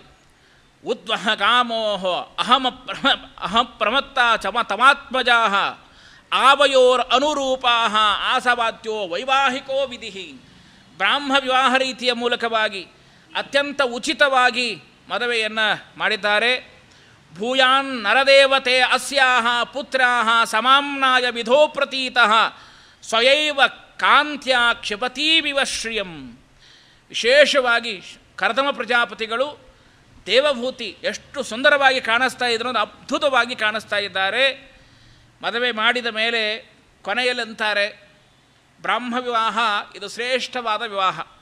ಎಂಟು ವಿವಾಹಗಳು, ಒಂದು ಬ್ರಾಹ್ಮ, ಇನ್ನೊಂದು ದೈವ, ಇನ್ನೊಂದು ಆರ್ಷ, ಪ್ರಾಜಾಪತ್ಯ, ಆಸುರ, ಗಾಂಧರ್ವ, ರಾಕ್ಷಸ ಪೈಶಾಚ ಅಂತ ಇದರಲ್ಲಿ ಬ್ರಾಹ್ಮ ವಿವಾಹ ಅತ್ಯಂತ ಶ್ರೇಷ್ಠವಾದ ವಿವಾಹ. ಇವತ್ತು ಎಲ್ಲರೂ ಈ ಬ್ರಾಹ್ಮ ವಿವಾಹವನ್ನೇ ವಿಧಿಪೂರ್ವಕವಾಗಿ ಮಾಡ್ತಾ ಇದ್ದಾರೆ, ಇಲ್ಲ ಅಂತಲ್ಲ. ಈ ಬ್ರಾಹ್ಮ ವಿವಾಹ ಅತ್ಯಂತ ಶ್ರೇಷ್ಠವಾದದ್ದು, ಹಾಗೆ ಆ ದೇವಭೂತಿಯನ್ನು ಮದುವೆ ಮಾಡಿಕೊಂಡ, ಆ ಶತರೂಪ ಮತ್ತು ಸಾಕ್ಷಾತ್ ಸ್ವಯಂಭೂಮನು ಎಷ್ಟೋ ದಿವಸ ತನಕ ಮಗಳ ಮನೆಯಲ್ಲೇ ಇರ್ತಾರೆ. ಆವಾಗ ಕೊನೆಯಲ್ಲಿ ಅವರೇ ಹೇಳ್ತಾರೆ, ಇಲ್ಲ, ನಾವು ಹೋಗಬೇಕು, ತುಂಬ ಕೆಲಸ ಇದೆ. ಬಹಳಷ್ಟು ಸೆಕಣಿ ಇವಳ ಜೊತೆ ಇರಬೇಕು ಅಂತ ನಾವು ಇದ್ವಿ. ಪ್ರತ್ತಾಂ ದುಹಿತರಂ ಸಾಮಾರ್ ರಿಕ್ಷಾಯ ಗತವ್ಯತಃ ನಾವು ಹೋಗಬೇಕು. ಅದಕ್ಕಾಗಿ ನಾವು ಹೋಗ್ತೀವಿ. ನಮ್ಮ ಮಗಳನ್ನು ನೋಡ್ಕೊಳ್ಳಿ ಅಂತ ಹೇಳಿ ಅಲ್ಲಿಂದ ಹೊರಟು ಹೋಗ್ತಾರೆ. ಕರ್ದಮ ಪ್ರಜಾಪತಿಗಳು ಅಖಂಡ ತಪಸ್ಸು ಮಾಡತಕ್ಕಂತಹ ಮಹಾನುಭಾವರು ಆದರೆ ದೇವಭೂತಿ ನೋಡಿ ಗಂಡನ ಸೇವೆಯನ್ನು ಅಖಂಡ ಮಾಡ್ತಾಳೆ ಯಾರಿಗಾದರೂ ಇರ್ತದೆ ಮದುವೆ ಆದ ಹೊಸ್ತಿಲಲ್ಲಿ ನಾನು ಅಲ್ಲಿ ಹೋಗಬೇಕು, ಇಲ್ಲಿ ಹೋಗಬೇಕು. ಓಡಾಡಬೇಕು, ಮಾಡಬೇಕು ಅಂತ ಎಲ್ಲ ಇರ್ತದೆ. ಆದರೆ ಯಾವ ಅಪೇಕ್ಷೆಗಳನ್ನು ಇಟ್ಟುಕೊಳ್ಳದೆ ದೇ, ಗಂಡರ ಸೇವೆಯನ್ನು ಅಖಂಡವಾಗಿ ಮಾಡ್ತಾಳೆ. ತುಷ್ಟೋ ಅಹಮತ್ಯ ತವ ಮಾನ ವಿಮಾನದಾಯ ಶುಶ್ರೂಷಯ ಪರಮಯ ಪರಯಾ ಚ ಭಕ್ತ್ಯ. ಯೋದೇಹಿನಾಂ ಅತೀವ ಸುಹೃತ್ಸದೇಹೋ ನಾವ್ಯಕ್ಷಿತಂ ಸಮುಚಿತ ಕ್ಷಪಿತಂ ಮದರ್ಥೇ ಅವಾಗ ಅಂತಾರೆ ಮನುವಿನ ಮಗಳಾಗಿರ್ತಕ್ಕಂತಹ ಸಾಕ್ಷಾತ್ ದೇವಹೂತಿ ಏನಂದ್ರೆ ನನ್ನ ಮೇಲೆ ತೋರಿದ ಪ್ರೀತ್ಯಾದರಗಳು, ಪ್ರೀತಿ, ವಿಶ್ವಾಸ, ಹೆಂಡತಿಯಾದವಳು ಗಂಡನ ಮೇಲೆ ಅವಶ್ಯವಾಗಿ ಇದನ್ನು ತೋರಿಸ್ಬೇಕಂತ ಅಷ್ಟೇ ಗಂಡನು ಹೆಂಡತಿ ಮೇಲೆ ತೋರಿಸಬೇಕು, ಹೆಂಡತಿ ಗಂಡನ ಮೇಲೆ ತೋರಿಸಬೇಕು. ಯಾಕೆ ಅಂದರೆ ಈ ಸ್ನೇಹ, ಈ ಪ್ರೀತಿ ವಾರ್ಧಕ್ಯಂ ಹರತಿ ಅಂತ ರಾಮಚಂದ್ರ ದೇವರು ಹೇಳ್ತಾರಂತ. ಸ್ನೇಹ ಪ್ರೀತಿಗಳಿದೆಯಲ್ಲ, ಎಂತಹ ವಯಸ್ಸಾದರೂ ಸಹಿತ ನೋಡಿ, ವಯಸ್ಸಾದ ಗಂಡ ಹೆಂಡತಿ ನೋಡಿ ಎಷ್ಟು ಚೆನ್ನಾಗಿರ್ತಾರೆ ಅವರು ಸ್ನೇಹ ಪ್ರೀತಿ ಇದ್ದರೆ ನಮಗೆ ವಾರ್ಧಕ್ಯ ಬಂದಿದೆ ಅಂತ ಅನಿಸೋದೇ ಇಲ್ಲ. ಹಾಗೆ ಸ್ವತಃ ರಾಮಚಂದ್ರ ದೇವರು ತನ್ನ ಸೀತೆಯ ಮೇಲೆ ಇರತಕ್ಕಂತಹ ಪ್ರೀತಿ ಸೀತಾದೇವಿ ರಾಮಚಂದ್ರ ದೇವರ ಮೇಲೆ ಇರುವ ಪ್ರೀತಿಯನ್ನು ರಾಮಾಯಣ ವರ್ಣಿಸ್ತದಲ್ಲ, ನೋಡಿ ಈ ತರಹದ ಪ್ರೀತಿಯಿಂದ ಕೂಡಿರ್ತಕ್ಕಂತಹ ಗಂಡ ಹೆಂಡತಿ, ನನ್ನ ಸೇವೆ ಅಖಂಡ ಮಾಡಿದ್ದೀಯಲ್ಲ ನಿನಗೆ, ಏನು ಕೊಡಲಿಲ್ಲ ನಾನು? ಅಖಂಡ ಸೇವೆ ಮಾಡಿದವರು ಯಾರೋ ದೇವಭೂತಿ. ಯಾಕೆಂದರೆ ಮದುವೆಯಾದ ಬಂದ ಹೊಸ್ತಿಲೊಳಗೆ ಅನೇಕರಿಗೆ ಅನೇಕ ತರಹದ ಅಪೇಕ್ಷೆ ಇರ್ತದೆ ಅದನ್ನು ಈಡೇರಿಸಲಿಲ್ಲ ಅಂದರೆ ಡಿವರ್ಸ್. ನಾವು ಕೊಟ್ಟೇ ಬಿಡ್ತೇವೆ. ಯಾಕಂದರೆ ಅದೊಂದು ಇವತ್ತು ಚಟವಾಗಿ ಬಿಟ್ಟಿದೆ. ಭಾಳಷ್ಟು ವಿಚಿತ್ರ. ಮೊನ್ನೆ ಒಂದು ಡಿವರ್ಸ್ ಆಯಿತು. ಏನು ಅಂದರೆ ಪಾಪ ಹುಡುಗನ ತಲೆಯಲ್ಲಿ ಕೂದಿಲ್ಲ ಅಂತ ಡಿವರ್ಸ್ ಆಗಿರೋದು. ಇವೆಲ್ಲ ಕೆಲವೊಂದು ವಿಚಿತ್ರ ಇದೆ. ಇನ್ನೊಂದು ಮೊನ್ನೆ ರಾಯಚೂರಿಗೆ ಹೋದಾಗ ಒಬ್ಬರು ಹೇಳಿದರು. ಅದರ ಕಾರಣ ಕೇಳಿದರೆ ನಿಮಗೆ ನಗು ಬರ್ತದೆ. ಯಾಕಂದರೆ ಎಷ್ಟು ಮನಸ್ಸು ಸಂಕುಚಿತವಾಗಿದೆ ಅಂದರೆ ಅವನು ಆಫೀಸ್ ಕೆಲಸ ಮಾಡ್ತಾರೆ ಅವಳು ಕೆಲಸ ಮಾಡ್ತಾರೆ ಮನೆಗೆ ಬಂದು ಇಬ್ಬರು ಕುತ್ಕೊಂಡಿದ್ದಾರೆ ಗಂಡ ಹೆಂಡತಿ. ಆವಾಗ ಬೇಸಿಗೆ ಕಾಲ, ನೀನು ಫ್ಯಾನ್ ಬಟನ್ ಹಾಕು ಅಂತ ಹೆಂಡ್ತಿಗೆ ಅವನು ಹೇಳಿದ. ಹೆಂಡ್ತಿ ಹೇಳಿದ್ದು, ನೀನು ಫ್ಯಾನ್ ಬಟನ್ ಹಾಕು ಅಂತ ಅವಳು ಹೇಳಿದ್ದು. ನಾನು ದಣದಿದ್ದೇನೆ, ನೀನು ಫ್ಯಾನ್ ಬಟನ್ ನಾನು ದಣದಿದ್ದೇನೆ, ನೀವು ಫ್ಯಾನ್ ಬಟನ್ ಹಾಕಿ. ನಿಮ್ಮ ಮಾತು ನಾನೇ ಕೇಳಿ ಅಂತ. ಇದೇ ಒಂದೇ ಮಾತು ಅವರಿಗೆ ಡೈವರ್ಸ್ ಕೊಡೋದಕ್ಕೆ ಕಾರಣ ಆಯಿತು ಅಂತ. ಈ ತರಹದ ಒಂದೊಂದಲ್ಲ, ಇವೆಲ್ಲ ಸಣ್ಣ ಸಣ್ಣ ಪ್ರಶ್ನೆಗಳು. ಯಾಕಂದರೆ ನಮ್ಮ ಮನಸ್ಸು ಅಷ್ಟು ಸಂಕುಚಿತವಾಗಿದೆ. ಪುರುಷನಲ್ಲಿಯೂ ಇದೇ ಹಣೆ ಬರ ಸ್ತ್ರೀಯರಲ್ಲಿಯೂ ಇದೇ ಹಣೆ ಬರ ಹೀಗಾಗಿ ಒಬ್ಬರು ಯಾರಾದರೂ ಸಹಕಾರ ತೆಗೆದುಕೊಂಡು ಹೋದರೆ ಮನೆಯ ಸಂಸಾರ ತುಂಬ ಚೆನ್ನಾಗಿರ್ತದೆ ಕೆಲವು ಸಂದರ್ಭದಲ್ಲಿ ಗಂಡ ಸಹಕಾರ ತಗೊಳ್ಬೇಕು, ಸಹನೆ ತಗೊಳ್ಬೇಕು, ಕೆಲವು ಸಂದರ್ಭದಲ್ಲಿ ಹೆಂಡತಿ ಸಹನೆ ತಗೋಬೇಕು. ಹೀಗಾಗಿ ಇಬ್ಬರೊಳಗೆ ಒಬ್ಬರು ಸಹನೆ ತೊಗೊಂಡ್ರೆ ಯಾರೋ ಒಬ್ಬರು ಪಾಪ ಇಬ್ಬರು ಮದುವೆ ಮಾಡ್ಕೊಂಡಿದ್ರು, ನಿತ್ಯ ಇದೇ ತರಹದ ಗಲಾಟೆ, ಇದೇ ತರಹದ ಹೊಡೆದಾಟ. ಕೊನೆಗೆ ಹೋಗಿ ಬೇಸತ್ತು ಒಬ್ಬರು ಗುರುಗಳ ಕಡೆ ಹೋಗ್ತಾಳೆ, ನಾನು ಇಬ್ಬರು ಗಂಡ ಹೆಂಡತಿ ಗಲಾಟೆ ಆಗದೆ ಇದ್ದಂತೆ ಪ್ರೀತಿಯಿಂದ ಇರೋದಕ್ಕೆ ಏನಾದರೂ ಒಂದು ಕೊಡಿ ಅಂದು ಅವರು ಒಂದು ಬಾಟ್ಲಿ ಒಳಗೆ ತೀರ್ಥ ಹಾಕಿ ಕೊಟ್ಟರು ಇದನ್ನು ತೊಗೊಂಡು ಹೋಗು. ನಿನ್ನ ಗಂಡ ಯಾವಾಗ ಕೋಪದಿಂದ ಬೈತಾನಲ್ಲ ಆವಾಗ ಈ ತೀರ್ಥ ಬಾಯಿ ಒಳಗೆ ಹಾಕ್ಕೊಂಡು ಕುತ್ಕೊಂಡ್ಬಿಡು. ಹೊರಗನಕಾರ ಒಳಗೆ ಬರೋಂಗಿಲ್ಲ, ಒಳಗೆ ನುಂಗಬೇಕು. ಆದರೆ ನಿನ್ನ ಗಂಡ ಬೈಯೋ ತನಕ ಬಾಯೊಳಗೆ ಇಟ್ಕೋಬೇಕು ಅದನ್ನು. ಹೊರಗಡೆ ಹಾಕಬಾರದು. ವಿಶೇಷವಾಗಿ ನಿನ್ನ ಗಂಡ ಬೈದ ಮೇಲೆ ಯಾಕಂದ್ರೆ ನಿನ್ನ ಮುಖ ಇರ್ತದಲ್ಲ, ನೋಡ್ತಾನೆ, ತೀರ್ಥ ಒಳಗಡೆ ಇರ್ತದೆ ನಿನ್ನ ಮೇಲೆ ಪ್ರೀತಿ ಮಾಡ್ತಾನೆ ಅಂತ. ಅವಳ ಗಂಡ ಯಾವಾಗ ಯಾವಾಗ ಕೋಪ ಬರ್ತದೆ, ಅವಾಗೆಲ್ಲ ಬಾಯಿ ಒಳಗೆ ತೀರ್ಥ ಹಾಕೊಂಡು ಕುತ್ಕೋಬೇಕು. ಅವನು ಗಂಡ ಬೈದ ಬೈದ ಬೈದ, ಇವಳಿಗೂ ಬೈಬೇಕು ಅಂತ ಕೋಪ ಬರೋದು ಬಾಯಿ ಒಳಗೆ ತೀರ್ಥ ಇದೆ, ಪಾಪ ಏನು ಮಾಡ್ತಾಳೆ ಕೊನೆ ಹಿಂದಾಗಡಿಸಿ ಸರಿ ಅಂತ ಗಂಡ ವಿಚಾರ ಮಾಡಿದ, ನಾನು ಎಷ್ಟು ಬೈದರೂ ಒಂದು ಹೆಂಡತಿ ಉತ್ತರ ಕೊಡೋದಿಲ್ಲಲ್ಲ. ಪ್ರತಿಯಾಗಿ ಮಾತು ಬಂದರೆ ಗಲಾಟೆ ತಾನೆ. ಪ್ರತಿಯಾಗಿ ಮಾತು ಬರಲಿಲ್ಲ ಅಂದರೆ ಗಲಾಟೆ ಇಲ್ಲವೇ ಇಲ್ಲ. ಸರಿ, ಹೀಗಾಗಿ ಹೆಂಡತಿಯನ್ನು ಪ್ರೀತಿ ಮಾಡೋದಕ್ಕೆ ಪ್ರಾರಂಭ ಮಾಡಿದ ಆವಾಗ ಅವಳು ಬಂದಂದು, ನೀವು ಎಂಥ ತೀರ್ಥ ಕೊಟ್ಟೀರಿ? ಆ ತೀರ್ಥದಿಂದ, ತೀರ್ಥದೊಳಗೆ ಆ ಶಕ್ತಿ ಇದೆ, ಅದರಲ್ಲಿ ಯಾವ ಸಂಶಯವಿಲ್ಲ. ಅದಕ್ಕಾಗಿ ಅವ್ರು ಹೇಳಿದ್ರಂತೆ, ನಾನು ಮಂತ್ರ ಹಾಕಿದ್ದು ನಿನ್ನ ಬಾಯಿಗೆ ಅಂತ. ಅದು ಗಂಡನ ಬಾಯಿ ಆಗಿರಬಹುದು, ಹೆಂಡತಿಯ ಬಾಯಿ ಆಗಿರಬಹುದು. ಹೀಗಾಗಿ ಎಲ್ಲ ಒಂಥರ ಇರ್ತದೆ, ಮದುವೆ ಆದ, ಅದೇ ಕೊಡೆತನಕನೂ ಇರಬೇಕು. ಅದಕ್ಕಾಗಿ ಹೇಳ್ತಾರಲ್ಲ, ಮದುವೆ ಆದ ಹೊಸ್ತಿನಲ್ಲಿ ಗಂಡ ಹೆಂಡತಿ ಜೋಡಿ ಕೊಡ್ತಾರಂತ. ಒಂದು ಎರಡು ವರ್ಷ ಆಯಿತಾ, ಅವನು ಮುಂದೆ ಕೊಡ್ತಾನೆ, ಇವಳು ಹಿಂದೆ ಕೊಡ್ತಾಳೆ. ಅಥವಾ ಇನ್ನೊಂದು ನಾಲ್ಕು ವರ್ಷ ಆಯಿತಾ, ಅವನ ಮನೆಯೊಳಗೆ ಕೂತಿರ್ತಾನೆ ಈಗ ಹೊರಗೆಲ್ಲೋ ಮಠಕ್ಕೆ ಪ್ರವಚನ ಕೆಳಗೆ ಬಂದಿರ್ತಾಳೆ. ಇದೇನು ಅಂದರೆ ಈ ತರಹದ ಪರಿಸ್ಥಿತಿ. ಅದಕ್ಕಾಗಿ ಹಾಗಾಗಬಾರದು ಅಂತ. ಆದ ಕರ್ತಮ ಪ್ರಜಾಪತಿಗಳು ವಿಶೇಷವಾಗಿ ಹೇಳ್ತಾರೆ, ದೇವಹೂತಿಯನ್ನು, ನೀನು ಎಂತಹ ತ್ಯಾಗ? ಅನೇಕ ಸಾಧ್ಯಮನಿಯರ ತ್ಯಾಗವನ್ನು ನಾವು ನೋಡ್ತೇವೆ. ಯಾವ ಸಾಕ್ಷಾತ್ ವಾಚಸ್ಪತಿ ಮಿಶ್ರವರ ಕತೆ ಕೇಳುವಾಗ, ಭಾಮತೀಕಾರರು ಅಂತ ಅವರ ಹೆಸರು ಪ್ರಸಿದ್ಧಿ. ಯಾಕೆ ಅಂದರೆ ಭಾಮತಿ ಎಂಬುದು ಅವರ ಹೆಂಡತಿಯ ಹೆಸರು. ಅವರಿಗೆ ಮದುವೆ ಮಾಡಿಬಿಟ್ರು, ಅವರು ದೊಡ್ಡ ವ್ಯಾಖ್ಯಾನ ಬರಿತಾ ಇದ್ದರು ಆವಾಗಲೇ ಮದುವೆ ಮಾಡಿಬಿಟ್ರು. ಅವರು ವ್ಯಾಖ್ಯಾನದಲ್ಲಿ ಎಷ್ಟು ಮುಳುಗಿ ಬಿಟ್ಟಿದ್ರು ಅಂದರೆ, ಏನೂ ಗೊತ್ತಿಲ್ಲ, ಮದುವೆ ಮಾಡ್ಕೊಂಡು ಹ್ಞೂ ಅಂದರು. ಆಯಿತು, ಎಲ್ಲ ಮದುವೆ ಆಯಿತು, ಮಂಗಳಸೂತ್ರ ಕಟ್ಟನು ಹ್ಞೂ ಅಂದರು, ಕಟ್ಟಿದರು, ಎಲ್ಲ ಮದುವೆ ಆಯಿತು, ಮತ್ತು ಇವರು ವ್ಯಾಖ್ಯಾನ ಬರಿತಾ ಕುತ್ಕೊಂಡ್ಬಿಟ್ರು. ವ್ಯಾಖ್ಯಾನ ಬರೆಯುವುದೆಲ್ಲ ಮುಗೀತು, ಮನೆ ಒಳಗೆ ಗೆಜ್ಜೆ ಸಪ್ಪಳ, ಬಳಿ ಸಪ್ಪಳ. ಯಾರು ಅಂತ ನೋಡಿದ್ರು, ಬಂದು ಎಲ್ಲ ವ್ಯವಸ್ಥೆ ಮಾಡ್ತಿದ್ಲು ಅವಳು. ಇವರು ಲೋಕವೇ ಬೇರೆ ಇತ್ತು. ಕೊನೆಗೆ ಹೆಂಡ್ತಿನ ಕಿಣಿ ಯಾರು ಅಂತ ಕೇಳಿದರು. ಅವಳಂದ್ರು, ನಾರಿ ನಿಮ್ಮ ಹೆಂಡ್ತಿ. ಇವತ್ತು ಕೇಳಿದರೆ ಬೇರೆ ಪರಿಸ್ಥಿತಿ ಇರ್ತಿತ್ತು, ಅದು ಪ್ರಶ್ನೆ ಬೇರೆ. ಆವಾಗ ಅವರಂತಾರೆ, ಎಂತಹದ್ದು ಅಂದರೆ, ಎಂತಹ ತ್ಯಾಗ ನಿಂದು, ಇಷ್ಟೆಲ್ಲ ಮಾಡಿದೆಯಲ್ಲ, ಅದಕ್ಕಾಗಿ ನನ್ನ ವ್ಯಾಖ್ಯಾನಕ್ಕೆ ನಿನ್ನ ಹೆಸರೇ ಇಡ್ತೇನೆ ಅಂತ ಹೇಳಿ ಭಾಮತಿ ಅಂತ ಹೆಸರಿಟ್ಟು ಹೀಗಾಗಿ ಯಾರು ವಾಚಸ್ಪತಿಗಳು ಅಂದರೆ ಅರ್ಥ ಆಗೋದಿಲ್ಲ, ಭಾಮತಿಕಾರರು ಅಂದರೆ ಅರ್ಥ ಆಗೋದು. ಹೆಂಡತಿ ಹೆಸರಿಂದನೇ ಗಂಡ ಬಂದಿತ್ತು ಹಾಗೆ ದೇವಹೂತಿಯಿಂದ ಸಾಕ್ಷ ಕರ್ದಮ ಪ್ರಜಾಪತಿಗಳಂತಾರೆ, ನೀನು ಮಾಡಿದ ತ್ಯಾಗ ಇದೆಯಲ್ಲ, ಬಹಳ ದೊಡ್ಡ ತ್ಯಾಗ. ಏನು ಬೇಕು ಕೇಳಿ ನಿನಗೆಲ್ಲ ಅನುಗ್ರಹ ಮಾಡ್ತೇನೆ. ಸರ್ವಕಾಮ ಧುಗಂ ದಿವ್ಯಂ. ಸರ್ವರತ್ನ ಸಮನ್ವಿತಂ. ಎಂತಹ ಯೋಗಶಕ್ತಿ, ಕರ್ದಮ ಪ್ರಜಾಪತಿಗಳು ಏನಿಲ್ಲ ಅಂತ ತಿಳ್ಕೋಬೇಡಿ. ತಪಸ್ವಿಗಳು, ಮೇಧಾವಿಗಳು, ಜ್ಞಾನಿಗಳು, ಎಂತಹ ಸಾಮರ್ಥ್ಯ ಅವರು ಕುಟೀರದಲ್ಲೇ ಇರಬಹುದು. ಅವರು ತಪಸ್ಸಿನ ಶಕ್ತಿ ಏನು ಬೇಕಾದರೂ ಸೃಷ್ಟಿ ಮಾಡಬಹುದು. ದೊಡ್ಡ ಸ್ವರ್ಗವನ್ನೇ ಸೃಷ್ಟಿ ಮಾಡಬಹುದು. ಮಾಡಿದ್ದುಂಟು.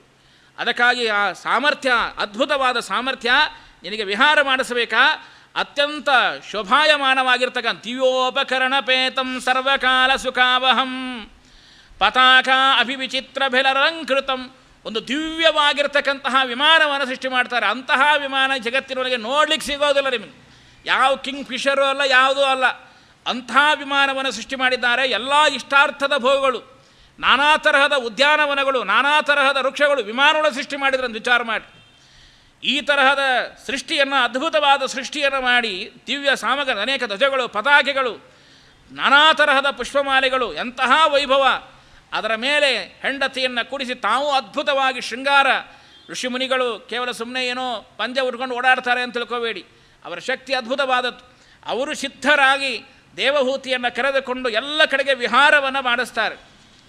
ದೇವಹೂತಿಗೆ ವಿಹಾರ ಮಾಡಿಸಿದ ಮೇಲೆ ಅವಳಂತಾಳೆ, ಏನಿಲ್ಲ ನನಗಿಷ್ಟೆಲ್ಲ ಅನುಗ್ರಹವನ್ನು ಮಾಡಿದ್ದೀರಿ. ನಾನಾ ತರಹದ ಅನೇಕ ಸರೋವರಗಳನ್ನು ನಿರ್ಮಾಣ ಮಾಡಿದೆ. ಅನೇಕ ದಾಸ ದಾಸಿಯರನ್ನು ನಿರ್ಮಾಣ ಮಾಡ್ತಾರೆ. ಅಖಂಡವಾದ ಸೇವೆ. ಇದನ್ನೆಲ್ಲ ಅವಳು ಹೇಳ್ದ ಸ್ವಯಂಭೂ ಮನುವಿನ ರಾಜ್ಯದೊಳಗೆ ಅವಳು ಏನು ಸುಖ ಪಡಬೇಕಾಗಿತ್ತೋ ಅದಕ್ಕಿಂತಲೂ ದುಪ್ಪಟ್ಟು ಸುಖ ಪಡುವಷ್ಟು ಕರ್ದಮ ಪ್ರಜಾಪತಿಗಳು ಹೆಂಡತಿಯನ್ನು ಹಾಗೆ ನೋಡಿಕೊಳ್ತಾರೆ ನೋಡಿಕೊಂಡ ಮೇಲೆ ಅಷ್ಟು ಮಾತ್ರ ಅಲ್ಲ, ಅವಳು ಮತ್ತೆ ನನಗೆ ಅನುಗ್ರಹ ಮಾಡಿ ಅಂದಾಗ ಹೆಣ್ಣು ಮಕ್ಕಳು ಹುಡ್ತಾರೆ, ಅವರೆಲ್ಲ ಮುಂದೆ ಪರ, ಅವರ ಬಗ್ಗೆ ಹೇಳ್ತಾರೆ. ಅನೇಕ ಶ್ರೇಷ್ಠರಾದ ಋಷಿಗಳಿಗೆ ಆ ಮಕ್ಕಳ ಒಂಬತ್ತು ಜನ ಹೆಣ್ಣು ಮಕ್ಕಳನ್ನು ಕೊಟ್ಟು ಮದುವೆ ಮಾಡ್ತಾರೆ. ಹಾಗಾದರೆ ಒಂಬತ್ತು ವಿಶೇಷವಾಗಿ ಅಷ್ಟು ಮಾತ್ರ ಅಲ್ಲ ಇಷ್ಟೆಲ್ಲ ಆಯಿತಲ್ಲ, ಆದ ಮೇಲೆ ಸಾಕ್ಷಾತ್ ಕ ದೇವಭೂತಿ, ಕರ್ದಮ ಪ್ರಜಾಪತಿಗಳನ್ನು ಕೇಳ್ತಾಳೆ, ಹೆಣ್ಣು ಮಕ್ಕಳಾಯಿತು, ಹೆಣ್ಣು ಮಕ್ಕಳ ಸಂತಾನ ಆಗಿದೆ. ಆದರೆ ನನಗೆ ನನ್ನನ್ನು ಉದ್ಧಾರ ಮಾಡತಕ್ಕಂತಹ ಪುತನರಕಾತ್ರಾಗ್ಯತೆ ಯಸ್ಮಾತ್ ಪುತ್ರನಾಗಿರ್ತಕ್ಕಂಥ ಮಗ, ಸಾಕ್ಷಾತ್ ಒಬ್ಬ ಗಂಡಸು ಮಗನನ್ನು ಕೊಡಿ. ನನಗೆ ನೂರಾರು ಮಕ್ಕಳನ್ನು ಕೇಳ್ತಾ ಇಲ್ಲ. ಒಬ್ಬೇ ಒಬ್ಬ ಗಂಡಸು ಮಗ. ಅದಕ್ಕಾಗಿ ಅವಳು ಹೇಳಿದ ಬ್ರಹ್ಮನ್ನ ದುಹಿತ್ರ ಬಿಸ್ತುಭ್ಯಂ ವಿಮೃಗ್ಯಾ ಪತಯ ಸಮಃ ಕಶ್ಚಿನ್ಮ ವಿಶೋಕಾಯ ತ್ವಯಿ ಪ್ರವರ್ಧಿತೆ ವನಂ. ಅವಳಂತಾಳೆ, ನಿಮ್ಮಂತಹ ಮಹಾನುಭಾವರು ನನ್ನ ಗಂಡನಾಗಿ ಸಿಕ್ಕಾಗ ನಾನು ಏನು ಕೇಳಬೇಕಾಗಿತ್ತು? ಶ್ರೇಷ್ಠವಾದ ಜ್ಞಾನ, ಮೋಕ್ಷಕ್ಕೆ ಸಾಧನವಾಗಿರ್ತಕ್ಕಂತಹ ಜ್ಞಾನವನ್ನು ನಿಮ್ಮಿಂದ ಕೇಳಬೇಕಾಗಿತ್ತು. ಅದನ್ನು ಬಿಟ್ಟುಕೊಂಡು ನಾನು ವಿಮಾನದೊಳಗೆ ಸಂಚಾರ ಮಾಡಿದೆ. ಆ ಸರೋವರದೊಳಗೆ ಭೋಗಪಟ್ಟೆ.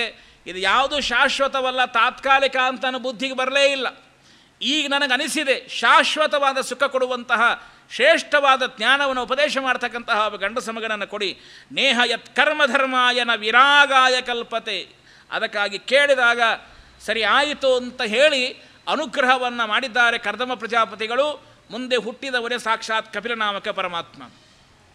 ಕಪಿಲನಾಮಕ ಪರಮಾತ್ಮ ನೋಡಿ, ಇಡೀ ಸಾಂಖ್ಯ ತತ್ವವನ್ನು ಉಪದೇಶ ಮಾಡಿದ ಪರಮಾತ್ಮ. ತಾಯಿಯನ್ನು ಕುರಿತು ಅದ್ಭುತವಾಗಿರ್ತಕ್ಕಂಥ ಎಷ್ಟು ಪ್ರಶ್ನೆ ಕೇಳ್ತಾಳೆ ಗೊತ್ತಾ? ತಾಯಿ ಮಗನ ಸಂಹಾರ, ಅದ್ಭುತವಾದ ಸಂಹಾರ. ನೀವೆಲ್ಲರೂ ಸಹಿತ ಮಾತೃಗೆ ಯಾಕೆ ಹೋದರೆ ನಿಮ್ಗೆ ಗೊತ್ತಾಗ್ತದೆ. ಆ ಅದ್ಭುತವಾಗಿರ್ತಕ್ಕಂತಹ ಪರಿಸರ ಅದು. ದೇವಭೂತಿ ಅಂತಾಳೆ, ನಿರ್ವಿಣ್ಣಂ ನಿತರಾಂ ಭೂಮನ್ನ ಸ್ತಂದ್ರಿಯ ತರ್ಶನಾತ್. ಏನಹ ಸಂಭಾವ್ಯಮಾನೇನ ಪ್ರಪನ್ನಾಂಧಂ ತಮಃ ಪ್ರಭು. ಏನು ಅಂದರೆ ಈ ದುಷ್ಟ ಇಂದ್ರಿಯಗಳು ನಾನಾರ್ಥೇ ಸೀನಿತ. ಎಳ್ಕೊಂಡು ಹೋಗ್ತದೆ ಪರಮಾತ್ಮ. ಅದನ್ನೇ ದಾಸರು ಹೇಳಿದರು, ಬೆಕ್ಕು ಭಕ್ಕರಿ ಮಾಡುವುದು ಕಂಡೆ, ಇಲಿಯ ವಲಯ ಚಾಚುವುದು ಕಂಡೆ ಅಂತ. ಯಾಕೆ ಬೆಕ್ಕುಗಳು ಅಂತ ಬಕ್ ಬೆಕ್ಕು ಬಕ್ರಿ ಮಾಡ್ತಾವೇನು? ಮನೆಯಾಗ ನಮಗೆ ಮಾಡಲಿಕ್ಕೆ ಬರೋದಿಲ್ಲ ಬಕ್ರಿ ಬೆಕ್ಕೇನು ಮಾಡ್ತಾವೆ? ಅದಕ್ಕಾಗಿ ಬಕ್ರಿ ಅಂದರೆ ಭೋಗ ಅಂತ. ಬೆಕ್ಕು ಅಂದರೆ ಏನು? ಇಂದ್ರಿಯಗಳಿಗೆ ಬೆಕ್ಕು ಅಂತ ಕರೆದ್ರು. ಯಾವ ಎಲ್ಲ ಇಂದ್ರಿಯಗಳು ಬೇಕು ಬೇಕು ಬೇಕು ಬೇಕು ಅಂತ ಅದಕ್ಕೆಲ್ಲ ಅವು ಬೆಕ್ಕುಗಳು ಇಂದ್ರಿಯ ತರ್ಷಣಾತ್ ಇಂತಹ ಬೆಕ್ಕುಗಳನ್ನು ಕಂಟ್ರೋಲ್ ಈ ಬೆಕ್ಕಿನ ಕೊಳ್ಳೊಳಗೆ ಗಂಟೆ ಕಟ್ಟುವರು ಯಾರು? ಈ ಇಂದ್ರಿಯಗಳನ್ನು ನಿಯಂತ್ರಣ ಮಾಡುವರು ಯಾರು? ಈ ಇಂದ್ರಿಯಗಳನ್ನು ಹೇಗೆ ನಿಯಂತ್ರಣ ಮಾಡಬೇಕು? ಇದನ್ನು ಹೇಳು. ಭಕ್ತಿಯ ಬಗ್ಗೆ ಕೇಳ್ತಾಳೆ. ಅನೇಕ ಅಷ್ಟಾಂಗ ಯೋಗದ ಬಗ್ಗೆ ಕೇಳ್ತಾಳೆ. ಎಲ್ಲದಕ್ಕೂ ಸಾಕ್ಷಾತ್ ಕಪಿಲನಾಮ ಪರಮಾತ್ಮ ಉತ್ತರ ಕೊಡ್ತಾನೆ. ಒಂದೇ ಹೇಳಿದ.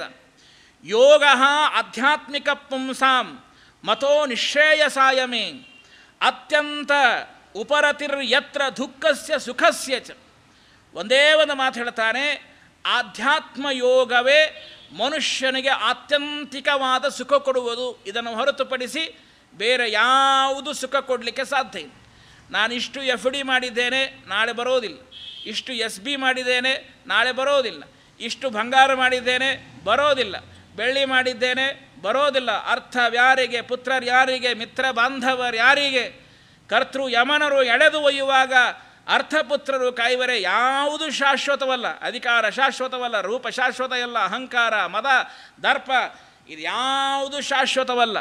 ನೀನು ಮಾಡಿದ ಸತ್ಕರ್ಮಗಳಿದೆಯಲ್ಲ, ಅದೇ ಶಾಶ್ವತವಾಗಿರ್ತಕ್ಕಂಥದ್ದು, ಅದಕ್ಕಾಗಿ ಜೀವನದೊಳಗೆ ಶಾಂತಿ ಸಿಗಬೇಕಾದರೆ.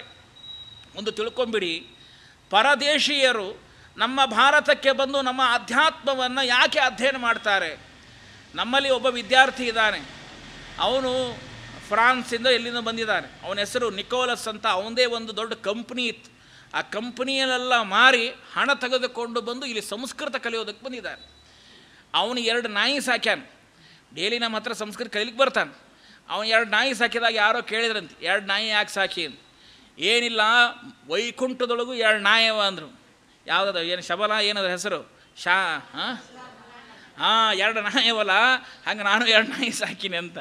ಅದು ಸಂಸ್ಕೃತ ಕಲಿತಾರೆ ಅವನು ವೆಸ್ಟರ್ನ್ ಫಿಲಾಸಫಿ ಓದ್ಕೊಂಡಾನ. ಅವನು ಈ western fill philosophy and Indian philosophy ಎರಡೂ ಓದ್ತಾನೆ.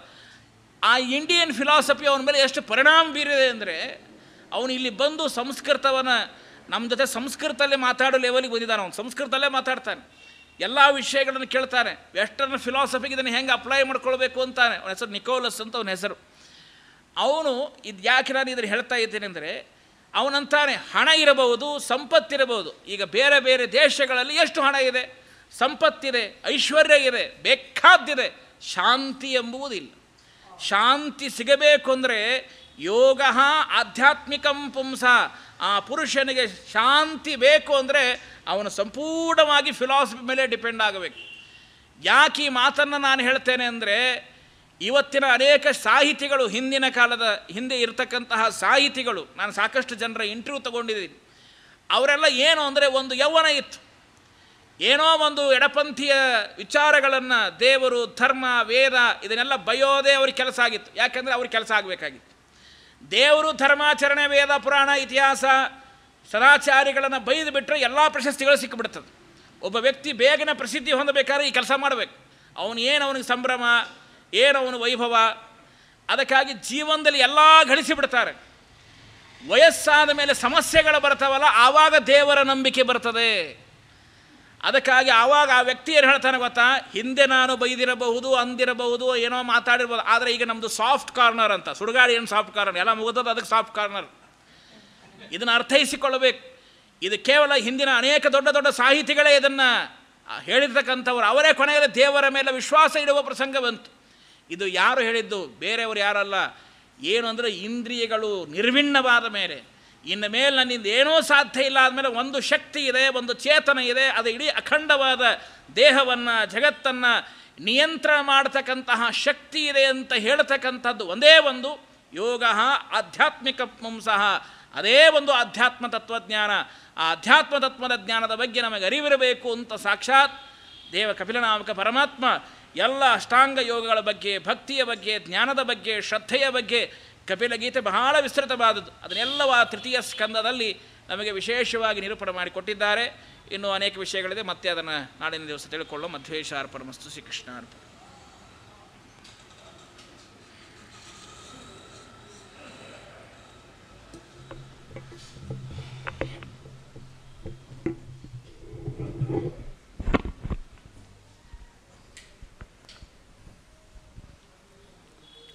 ಶ್ರೀ ಗುರುಭ್ಯೋ ನಮಃ. ಹರಿ ಓಂ.